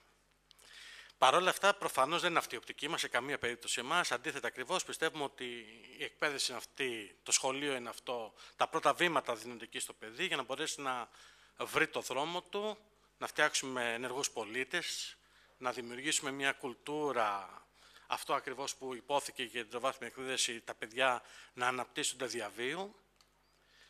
Και όλο αυτό το κομμάτι έρχεται σε μια συζήτηση που φέρνει αυτό που έντονα συζητάμε για το αν και τι εκπαιδευτικούς έχουμε στα σχολεία, αν και τι μαθητές βγάζουμε από τα σχολεία. Ε, το αυγό, την κότα, το, η κότα το αυγό, κάποτε λέγαμε και το, το παίζαμε μικρή με κάποιους φίλους. Ε, ένα παιδάκι μπαίνει στον υπηαγωγείο, συναντάει την υπηαγωγό, απόφυτος το βάθμιος εκπαίδευσης, πάει στο δημοτικό, συναντάει τους δασκάλους, απόφοιτοι το βάθμιο εκπαίδευσης. Και όλοι αυτοί πολλές φορές οι περισσότεροι πλέον στη σχολική εκπαίδευση είναι με μεταπτυχιακές σπουδές. Πάει στο γυμνάσιο και στο λύκειο, συναντάει εκπαιδευτικούς πολλών ειδικοτήτων και όλοι αυτοί προσφέρουν ένα πλαίσιο εκπαίδευσης που προετοιμάζουν το μαθητή. Οι περισσότεροι από αυτούς, θα έλεγα, η συντριπτική πλειοψηφία είναι απόφοιτοι ελληνικών πανεπιστημίων και επίτηδες έρχομαι σε μένα, διότι στο τμήμα πληροφορικής που είμαι στο Ιόνι Πανεπιστήμιο, το γνωστικό μου αντικείμενο είναι η διδασκαλία, να προετοιμάσω τους φοιτητές για να διδάσκουν πληροφορική στην σχολική εκπαίδευση. Και σκέφτομαι πολλές φορές το εξής απλοϊκό. Διδάσκω 13 εβδομάδες, το γνωστικό μου αντικείμενο. Μετά μπορεί να βάλω κάποιες πρόοδους. Το κάνουμε. Αλλά στο τέλος έχουμε και μια γραπτή εξέταση Ιουνίου, Φεβρουαρίου, Σεπτεμβρίου, στην οποία τι κάνουμε από τις 13 εβδομάδες, επιλέγουμε κάποια θέματα, δεν χωράνε όλα σε αυτήν την εξέταση, και έρχεται το φοιτητής μας και απαντάει ορθά, καλά και παίρνει ένα πέντε. Τι σημαίνει αυτό το πέντε; Και τι σημαίνει αυτό το πέντε στο φοιτητή της ιατρικής, στο μηχανικό του Πολυτεχνείου και εν τέλει στο χώρο της εκπαίδευσης, στον δάσκαλο, σε αυτόν που σπουδάζει, γιατί μην το ξεχνάμε και αυτό, κανένας μαθηματικός δεν σπουδάζει μαθηματικό για να γίνει εκπαιδευτικός. Σπουδάζει για να γίνει μαθηματικός, τέλεια. Τώρα, το ότι επιλέγει να γίνει εκπαιδευτικός είναι ένα δεύτερο κομμάτι. Άσχετα που το σκεφτόμαστε πολλές σχολές και πολλά τμήματα να έχουν αυτή την ευκαιρία οι φοιτητές τους. Οπότε σε αυτό το πλαίσιο, θέλω να το ξανασκεφτούμε αυτό. Φοιτητής του 5 με κάποια μαθήματα 5, από φυτά και μπορεί να, κάνει μια, να τελείωσε το μάθημα της χειρουργικής, αν να πάει να κάνει μια επέμβαση, ή το μάθημα της στατικής που λέγαμε πριν για να κατασκευάσει ένα κτίριο και έχει πάρει 5, ή να διαχειρίζεται μαθητές στην τάξη και να έχει πάρει ένα 5 σε αυτό το μάθημα. Κάπου λοιπόν έχουμε τεράστια ευθύνη εμείς ως ακαδημαϊκοί, ως το βάθμια εκπαίδευση, στο το πώς προετοιμάζουμε τους μελλοντικούς εκπαιδευτικούς. Ή αυτούς που θα είναι ενδυνάμει εκπαιδευτικοί. Εντάξει, ακόμα ε, και το τμήμα του κυρίου Οικονόμου έχει ενδυνάμει εκπαιδευτικούς πλέον. Έγινε προχτέ, βγήκε η απόφαση. Έχει, αλλά υπάρχει μια μεγάλη αδικία. Δεν μας παίρνουν στα δημοτικά. και ήθελα να τη θέσω αυτό. λοιπόν, ακριβώς. Είναι ε, πολύ, πολύ πετυχημένο. Αυτό όλο το πλαίσιο λοιπόν είναι ένας φαύλος κύκλος. Πρέπει να σας πω ότι στο, στη σχολική εκπαίδευση αυτή τη στιγμή, στο Λύκειο, Έχουμε βιβλία του 1997, γράφτηκαν το 1997, δόθηκαν στα παιδιά μας το 1999. Το μάθημα της πληροφορικής της Λυκείου, που είναι και το γνωστικό μου αντικείμενο, διδάσκεται το ίδιο βιβλίο από το 1999. Είναι αλγοριθμική βέβαια, είναι αλγοριθμική, εντάξει, δεν είναι... Δεν είναι. Σωστό.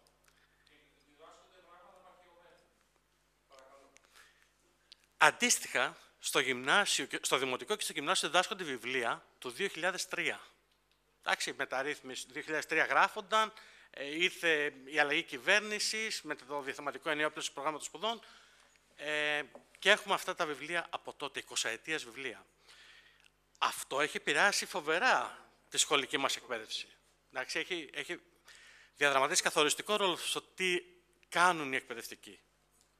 Λοιπόν, πέρα πούμε ότι την τελευταία τη δεκαετία που ζούμε τώρα, ε, από το 21, έχουμε ευτυχώς, επιτέλους, νέα προγράμματα σπουδών. Νέα προγράμματα σπουδών που οραματίστηκαν και προηγούμενες κυβερνήσεις και πέσανε στον κρεμό με αλλαγές κυβέρνησης που έγιναν εκείνη την περίοδο και χαθήκαν τα προγράμματα σπουδών που είχαν αναπτυχθεί. 21 νέα προγράμματα σπουδών, δύο χρόνια πιλωτικά αξιοποιήθηκαν στα πρότυπα και στα πειραματικά, επιμορφώθηκαν όλοι οι εκπαιδευτικοί των προτύπων πειραματικών και συνεισέφεραν σε πολύ μεγάλο βαθμό στο να τροποποιηθούν αυτά τα προγράμματα σπουδών και να έχουμε το τελικό πρόγραμμα σπουδών το 2023. Με την ανακοίνωση των προγραμμάτων σπουδών προχωρήσαμε σε ένα πολύ σημαντικό κομμάτι από την προηγούμενη ηγεσία του Υπουργείου Παιδείας στο πολλαπλό βιβλίο.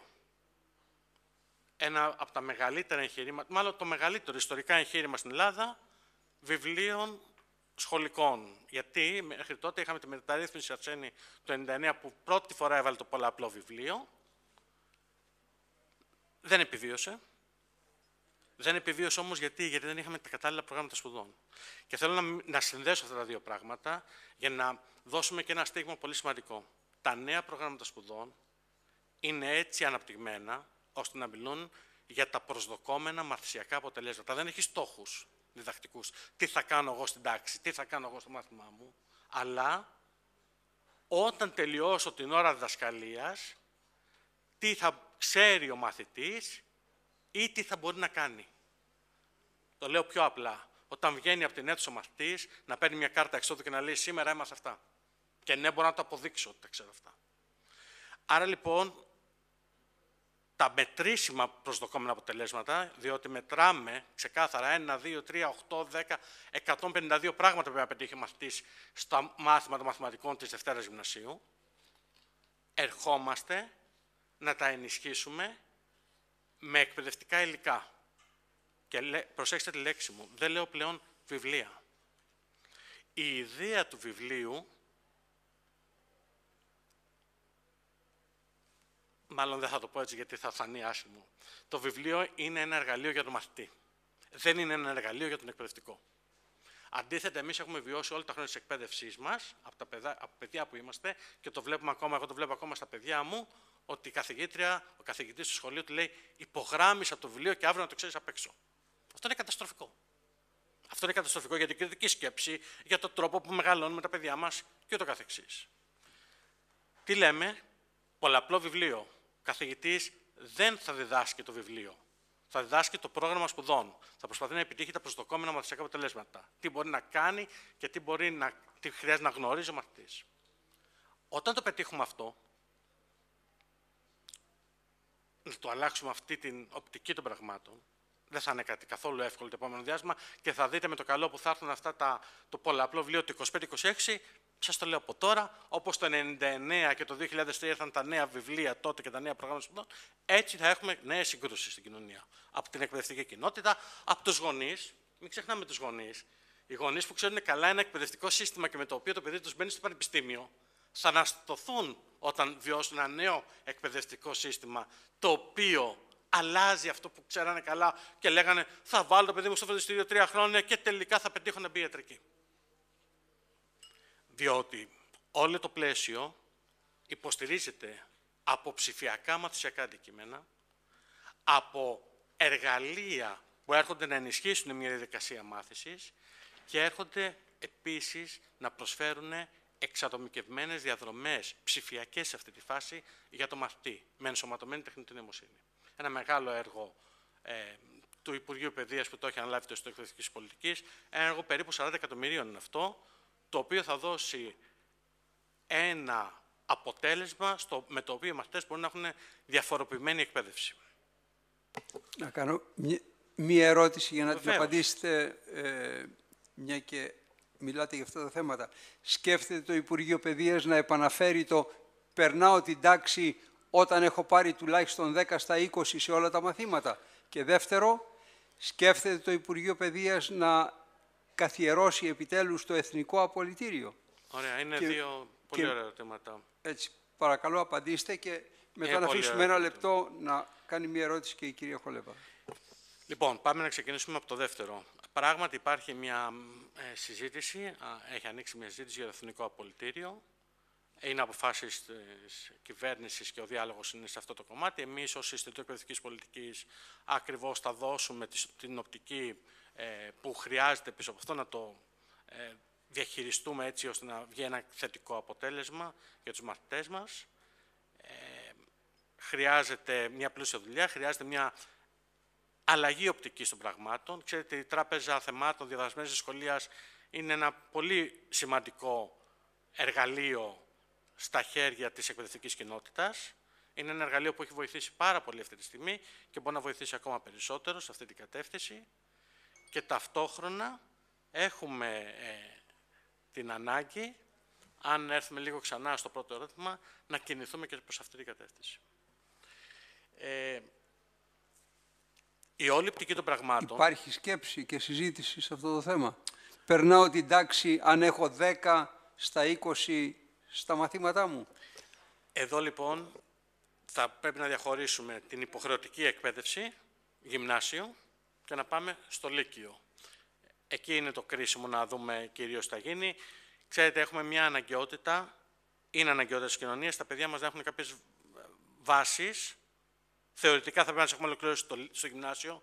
Το είπε πολύ εύστοχη η κυρία Χολέβα, δεν πρέπει να συζητάμε για αυτονόητα πράγματα μετά το τέλος του γυμνασίου. Θα πρέπει να τα ξέρουμε, γιατί το Λύκειο έρχεται με άλλο στόχο. Στο Λύκειο χρειάζεται να ενισχύσουμε όσο μπορούμε τέτοιες οπτικές, τέτοιες κατευθύνσεις. Ώστε ακριβώς να μπορούμε να έχουμε διαφορετικές ευκαιρίες και διαφορετικό μαθησιακό δυναμικό που το πάμε προς την τροβάθμια εκπαίδευση μετά. Αλλά με πέντε στα μαθηματικά, τι θα έχεις μάθει; Ναι. Ξέρετε, τι, διαιωνίζουμε μια κατάσταση αγραμματοσύνης, έτσι. έτσι. Και θυμάμαι το Χατζηχρήστο στο γνωστό του έργο που έλεγε «Εγώ έκανα τέσσερα χρόνια ναι. κάθε τάξη και τα μάθα καλύτερα». Δεν είναι δυνατόν μέχρι να φτάσει 15 ετών το παιδί να περνάει τις τάξεις χωρίς να ξέρει μαθηματικά, τη γλώσσα, ιστορία, φυσική κλπ. Έτσι. Γιατί είναι υποχρεωτική εκπαίδευση. Να μείνει στη διατάξη να τα μάθει. Ή αν δεν ξέρει, να πηγαίνει αλλού. Σωστό. Εκεί είναι το, ε, το, είναι το κομμάτι επαγγελματικής, του επαγγελματικού προσανατολισμού που λέγαμε για το γυμνάσιο. Επανέρχομαι όμως, κύριε Γεσπολάκη, επίτηδες. Πολλές φορές το κάνουμε και εμείς στο Πανεπιστήμιο αυτό το πράγμα κάποιες στιγμές... Εντάξει, κάποια στιγμή... Κακός, κάκιστα και αυτό οφείλεται στο γεγονός ότι δεν υπάρχει, δεν υπάρχει η ενδιάμεση, ο ενδιάμεσος έλεγχος που είπα προηγουμένως με το άρθρο 7 του νόμου Διαματοπούλου. Δύο φορές, τρεις φορές και τέλος. Και ναι. μετά τέλος, φεύγεις.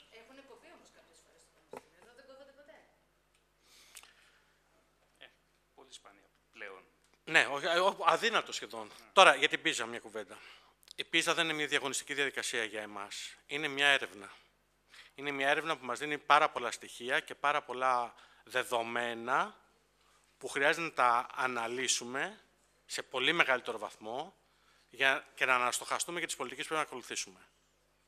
Ε, ξεκινήσαμε μια νέα διαδικασία, θα τη δείτε μπροστά σας στο επόμενο διάστημα εν ώψη της επόμενης πίζα. Έχουμε δουλειά, πολύ να κάνουμε, αλλά ξαναλέω, το πίζα, εκτός από τις μετρήσεις, το, το νούμερο που μας δίνει, μας κατατάσσει, κάτω το μέσο όρο, μας δίνει και άλλα δεδομένα πάρα πολύ ενδιαφέροντα και πάρα πολύ χρήσιμα. Για παράδειγμα, έχουμε το, ένα από τα μικρότερα ποσοστά εγκατάλειψη σχολείου σε όλες τις χώρες του, του ΟΣΑ ουσιαστικά και πώς μετέχουν στην πίζα. Εγκατάλειψη, προσέξτε, μιλάμε για εγκατάλειψη σχολείου, δηλαδή ότι τα παιδιά φτάνουν και δεν αποχωρούν ούτε από την τρίτη δημοτικού, ούτε την τέταρτη, την έκτη. Αφήστε το Λύκειο, μιλάμε μέχρι την τρίτη γυμνασίου, την υποχρεωτική εκπαίδευση. Έχουμε άλλες χώρες που έχουν πολύ μεγαλύτερα ποσοστά. Ναι. Δεν είναι λογικό όμως αυτό; Αφού περνάνε τα παιδιά χωρίς ε, ε, πρόβλημα στην επόμενη τάξη, λογικό δεν είναι; Είναι ερώτημα λοιπόν, ηθικό δίλημα είναι αυτό, θα λέει κάποιος. Τι θέλουμε, παιδιά, να καταλήψουν σχολείο στην έκτη δημοτικού ή στην πρώτη γυμνασίου με ένα σκληρό σύστημα που θα τα διώχνει, ή παιδιά που έστω και με δυσκολίες θα τελειώσουν το γυμνάσιο, την υποχρεωτική εκπαίδευση. Είναι ένα ηθικό δίλημα. Δεν είναι εύκολη απάντηση, νομίζω. Είναι υποχρεωτικό το δίλημα αυτό. Υπάρχει και, υπάρχει και τρίλημα, υπάρχει και τρίτη επιλογή. Ναι, προφανώς. Προφανώς, προφανώς. Κάνουν φροντιστήρια εκεί, να τα κρατήσεις εκεί, να κάλυψεις τα κενά τους. Α τον χρόνο. ένα μήνα, τον Ιούνιο. Να ξανάρθει του χρόνου, ακριβώς. Το, το, το ακούμε. Κοιτάξτε, ε, στηρίζουμε και ένα άλλο πλαίσιο. Το νέο πλαίσιο που έρχεται και τις επόμενες μέρες θα αναδειχθεί με το ψηφιακό σχολείο, την υποστήριξη των μαθητών, ε, με βάση ένα πλούσιο υλικό σε όλα τα μαθήματα. Ε, αυτό θα, θα είναι επίσης ένα πολύ υποστηρικτικό εργαλείο, γιατί πρέπει να πούμε και το εξής σημαντικό.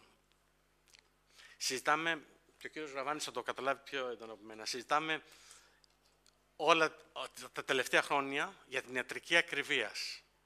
Συζητάμε επίσης τα τελευταία χρόνια για τη γεωργία ακριβίας. Και δεν συζητάμε ποτέ για την εκπαίδευση ακριβίας. Πάμε, η ιατρική ακριβία είναι πολύ σημαντικό να σώσουμε τη ζωή μας, το κατάλληλο φάρμακο να δώσω στον ασθενή, το προσωποποιημένο φάρμακο, το αντίστοιχο στη γεωργία να βγουν τα προϊόντα όπως χρειάζεται να βγουν. Κανένας όμως δεν κάνει μια εκπαίδευση ακριβίας. Πάμε και κάνουμε ένα μαζικό πλαίσιο εκπαίδευσης, χωρίς να έχουμε ούτε πρόγνωση, ούτε πρόβλεψη, ούτε να δούμε τις ανάγκες του εκπαιδευόμενου. Η εκπαίδευση ακριβίας ίσως είναι αυτό που θα συναντήσουμε μετά από 20-30 χρόνια μπροστά μας. Είναι ένα κομμάτι που λέει το εξής. Συλλέγω δεδομένα, αυτά τα δεδομένα τα επεξεργάζομαι με αυτά της μηχανικής μάζη, τεχνητή νοημοσύνη που πέφτουν όλα μέσα και βγάζω ένα μοντέλο εκπαίδευσης που ταιριάζει και σαν και στο εκπαιδευόμενο, θα το πω και πιο λίγο χήμα, στον εγκέφαλο του εκπαιδευόμενου, στο τι μπορεί να μάθει. Εκεί λοιπόν θα παίξει και πολύ ενδιαφέρον το κομμάτι αυτό που λέγατε και κύριε Σπολάκη πριν, ότι τα παιδιά δεν θα κάθονται στην τάξη να παρακολουθούν το Δουκάκι να κάνει μάθημα, που ο Δουκάκης κάνει ένα τυπικό μάθημα, όπως νομίζει ότι είναι σωστό να το κάνει. Είναι ένα κομμάτι που θέλουμε δουλειά, αλλά είναι ένα κομμάτι που πρέπει να είναι το όραμά μας να προσφέρουμε και στα παιδιά μας την εκπαίδευση ακριβίας. Όπως προσφέρουμε στους μεγαλύτερους ανθρώπους την ιατρική ακριβίας ή και για όλους μας τη γεωργία ακριβίας. Κλείνω με το τελευταίο. Πριν ναι. κλείσετε να σας κάνει την ερώτηση βεβαίως, πάρα βεβαίως. πολύ σύντομα, ναι, σε ναι, ναι. δευτερόλεπτα, η κυρία Κολέβα, ώστε να απαντήσετε και σε αυτό. Και ο... Ναι, ναι, η κυρία Χολέβα τώρα έχει το λόγο. Έχω μία, ε, πιστεύω και εγώ ότι τους μαθητές πρέπει να τους οδηγήσουμε στον τρόπο να κατακτούν τη γνώση. Δηλαδή το μάθημα πρέπει να γίνει αλλιώς. Αναρωτιέμαι με το θεσμό των αναθέσεων πώς ας πούμε ο πληροφορικός ε, θα μάθει τα παιδιά μαθηματικά που δεν έχει τη γνώση και τη μεθοδολογία ή ο ξενόγλωσσος καθηγητής που δεν έχει τη γνώση και τη ε, μεθοδολογία θα πάει σε αυτή την εμβάθυνση όταν ο ίδιος δεν ξέρει τα βασικά. Δηλαδή... Έχει το λόγο, έχει το λόγο, βεβαίως. Και κάτι άλλο πολύ βασικό. Ε, δε, δεν έχουμε χρόνο. Μήπως αυτό θα μας οδηγήσει στο να ξαναπάμε στο βιβλίο και να υπογραμμίζουμε, γιατί έχουμε και τα φροντιστήρια παραλλήλως δίπλα μας, τα οποία πιέζουν σε μια μηχανοποιημένη γνώση. Ωραία. Ε, απαντήστε ναι. κύριε Δουκάκη και μετά μια παρατήρηση ο κύριος Ραβανής. Κοιτάξτε, ε, τα, τα βιβλία θα είναι πολλαπλά, δεν θα υπάρχει δυνατότητα για κανέναν, αλλά πάω και σε αυτό το κρίσιμο. Εμείς τι θέλουμε από την εκπαίδευση, εκεί είναι ένα ερώτημα. Τι κάνουμε στο γυμνάσιο τουλάχιστον, ας μείνουμε στο γυμνάσιο; Είναι μια εκπαίδευση που θέλουμε να δώσουμε κάποιες βάσεις και ταυτόχρονα να κάνουν τα παιδιά ενεργούς πολίτες. Και ο στόχος αυτός με τις ανακοινώσεις της κυβέρνησης την Τρίτη που μας πέρασε για το πώς θα αντιμετωπίσουν τη βία, τα νέα δεδομένα που έρχονται σε σχέση με το πώς αξιοποιώ τις εκπαιδευτικές επισκέψεις, τις συναντήσεις, τις ημέρες που κάνουμε σχολείο, που έρχονται και αυτά, δίνουν ένα πλαίσιο τέτοιο που δεν θα πρέπει να ασχολούμαστε σε αυτές τις μικρές τάξεις ποιος θα διδάξει το αντικείμενο ή πόσες ώρες θα διδάξει το αντικείμενο, αλλά πώς θα δημιουργήσω ενεργούς πολίτες. Πώς θα δημιουργήσω πολίτες που θα αγαπούν τη γνώση, που θα θέλουν να μάθουν και κάποιοι από αυτούς να φύγουν προς την κατεύθυνση του λυκείου που πρέπει να φύγουν και οι άλλοι να πάνε στο άλλο λύκειο, στο επαγγελματικό λύκειο που τους ταιριάζει καλύτερα. Με τέτοιους τρόπους θα μπορέσουμε να ξεκλειδώσουμε τα παιδιά και να ενισχύσουμε την κριτική του σκέψη. Ευχαριστώ πάρα πολύ κύριε Δουκάκη. Ε, Αχιλέα.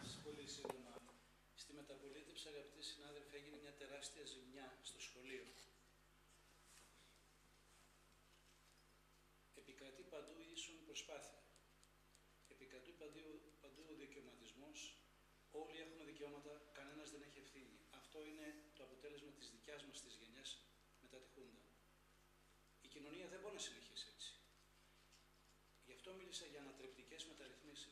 Πρέπει να φέρουμε τη συζήτηση για αυτά τα βασικά θέματα στην κοινωνία, στου γονείς.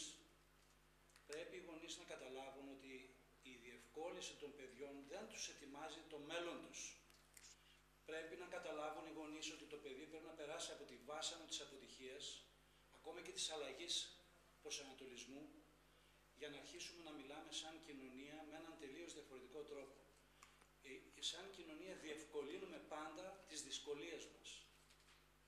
Δεν τις αντιμετωπίζουμε. Και αυτό πρέπει να ξεκινήσει από το σχολείο, από το, την πρωτοβάθμια εκπαίδευση και από τη δευτεροβάθμια εκπαίδευση. Και το ερώτημα είναι ποιος θα το κάνει όταν ένα μεγάλο μέρος της κοινωνίας και του πολιτικού συστήματος είναι λαϊκίστικο, ενδιαφέρεται μόνο για δικαιώματα, καθόλου για ευθύνες, ιδιαίτερα προσωπικές ευθύνες, τα αναθέτει όλα στη δημόσια ευθύνη, στην κοινωνία την άτιμη κτλ.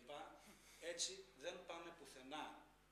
Και αυτοί που έχουν στα χέρια τους την πολιτική απόφαση πρέπει να σπάσουν αυγά, να μιλήσουν για αυτά τα θέματα και όχι να afford the system. Γιατί οι περισσότεροι afford the system.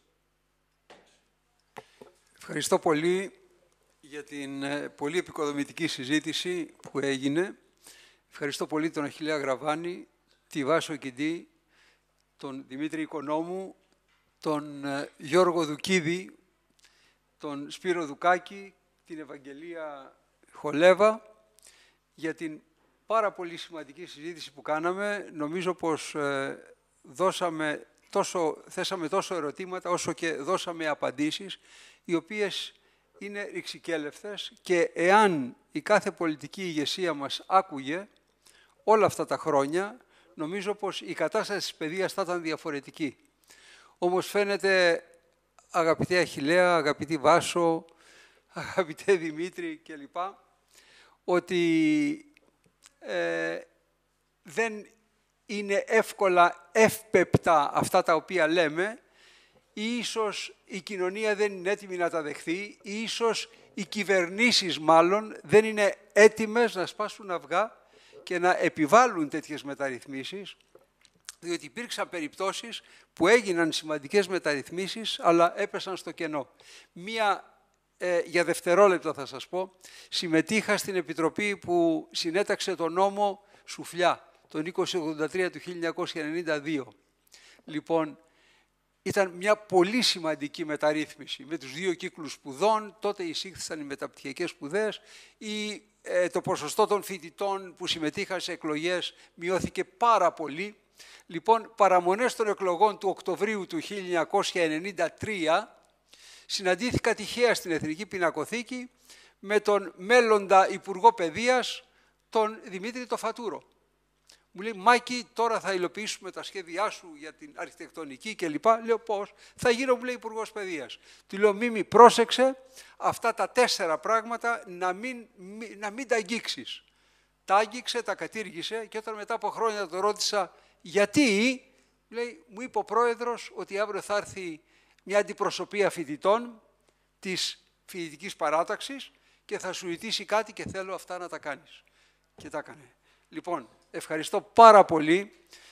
Ε, είμαι, συνηθίζω να, να λέω τα πράγματα όπως τα σκέφτομαι και αυτό δεν είναι πάντοτε καλό, αλλά σας ευχαριστώ πάρα πολύ ειλικρινά που δεχθήκατε να έρθετε να συζητήσουμε όλα αυτά και ελπίζω πολλά από αυτά να μεταφερθούν όπως υπόθηκαν, θα μεταφερθούν, θα φροντίσουμε όχι μόνο από τον κύριο Δουκάκη, αλλά θα φροντίσω όλα αυτά να μεταφερθούν εκεί που πρέπει. Ευχαριστώ πάρα πολύ και το Φόρουμ των Δελφών και ιδιαίτερα τον Σημειών Τσομόκο για την πρόσκληση και για τον πολύ χρόνο που μας διέθεσε να συζητήσουμε όλα αυτά τα οποία με αγωνία σκεφτόμαστε πολλά πολλά χρόνια τώρα ε, Αχιλέα, Βάσο, Δημήτρη, Ευαγγελία, Σπύρο κλπ.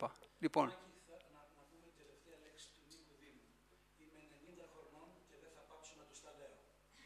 Πολύ ωραία. Ευχαριστώ πάρα πολύ για όλα. Yes.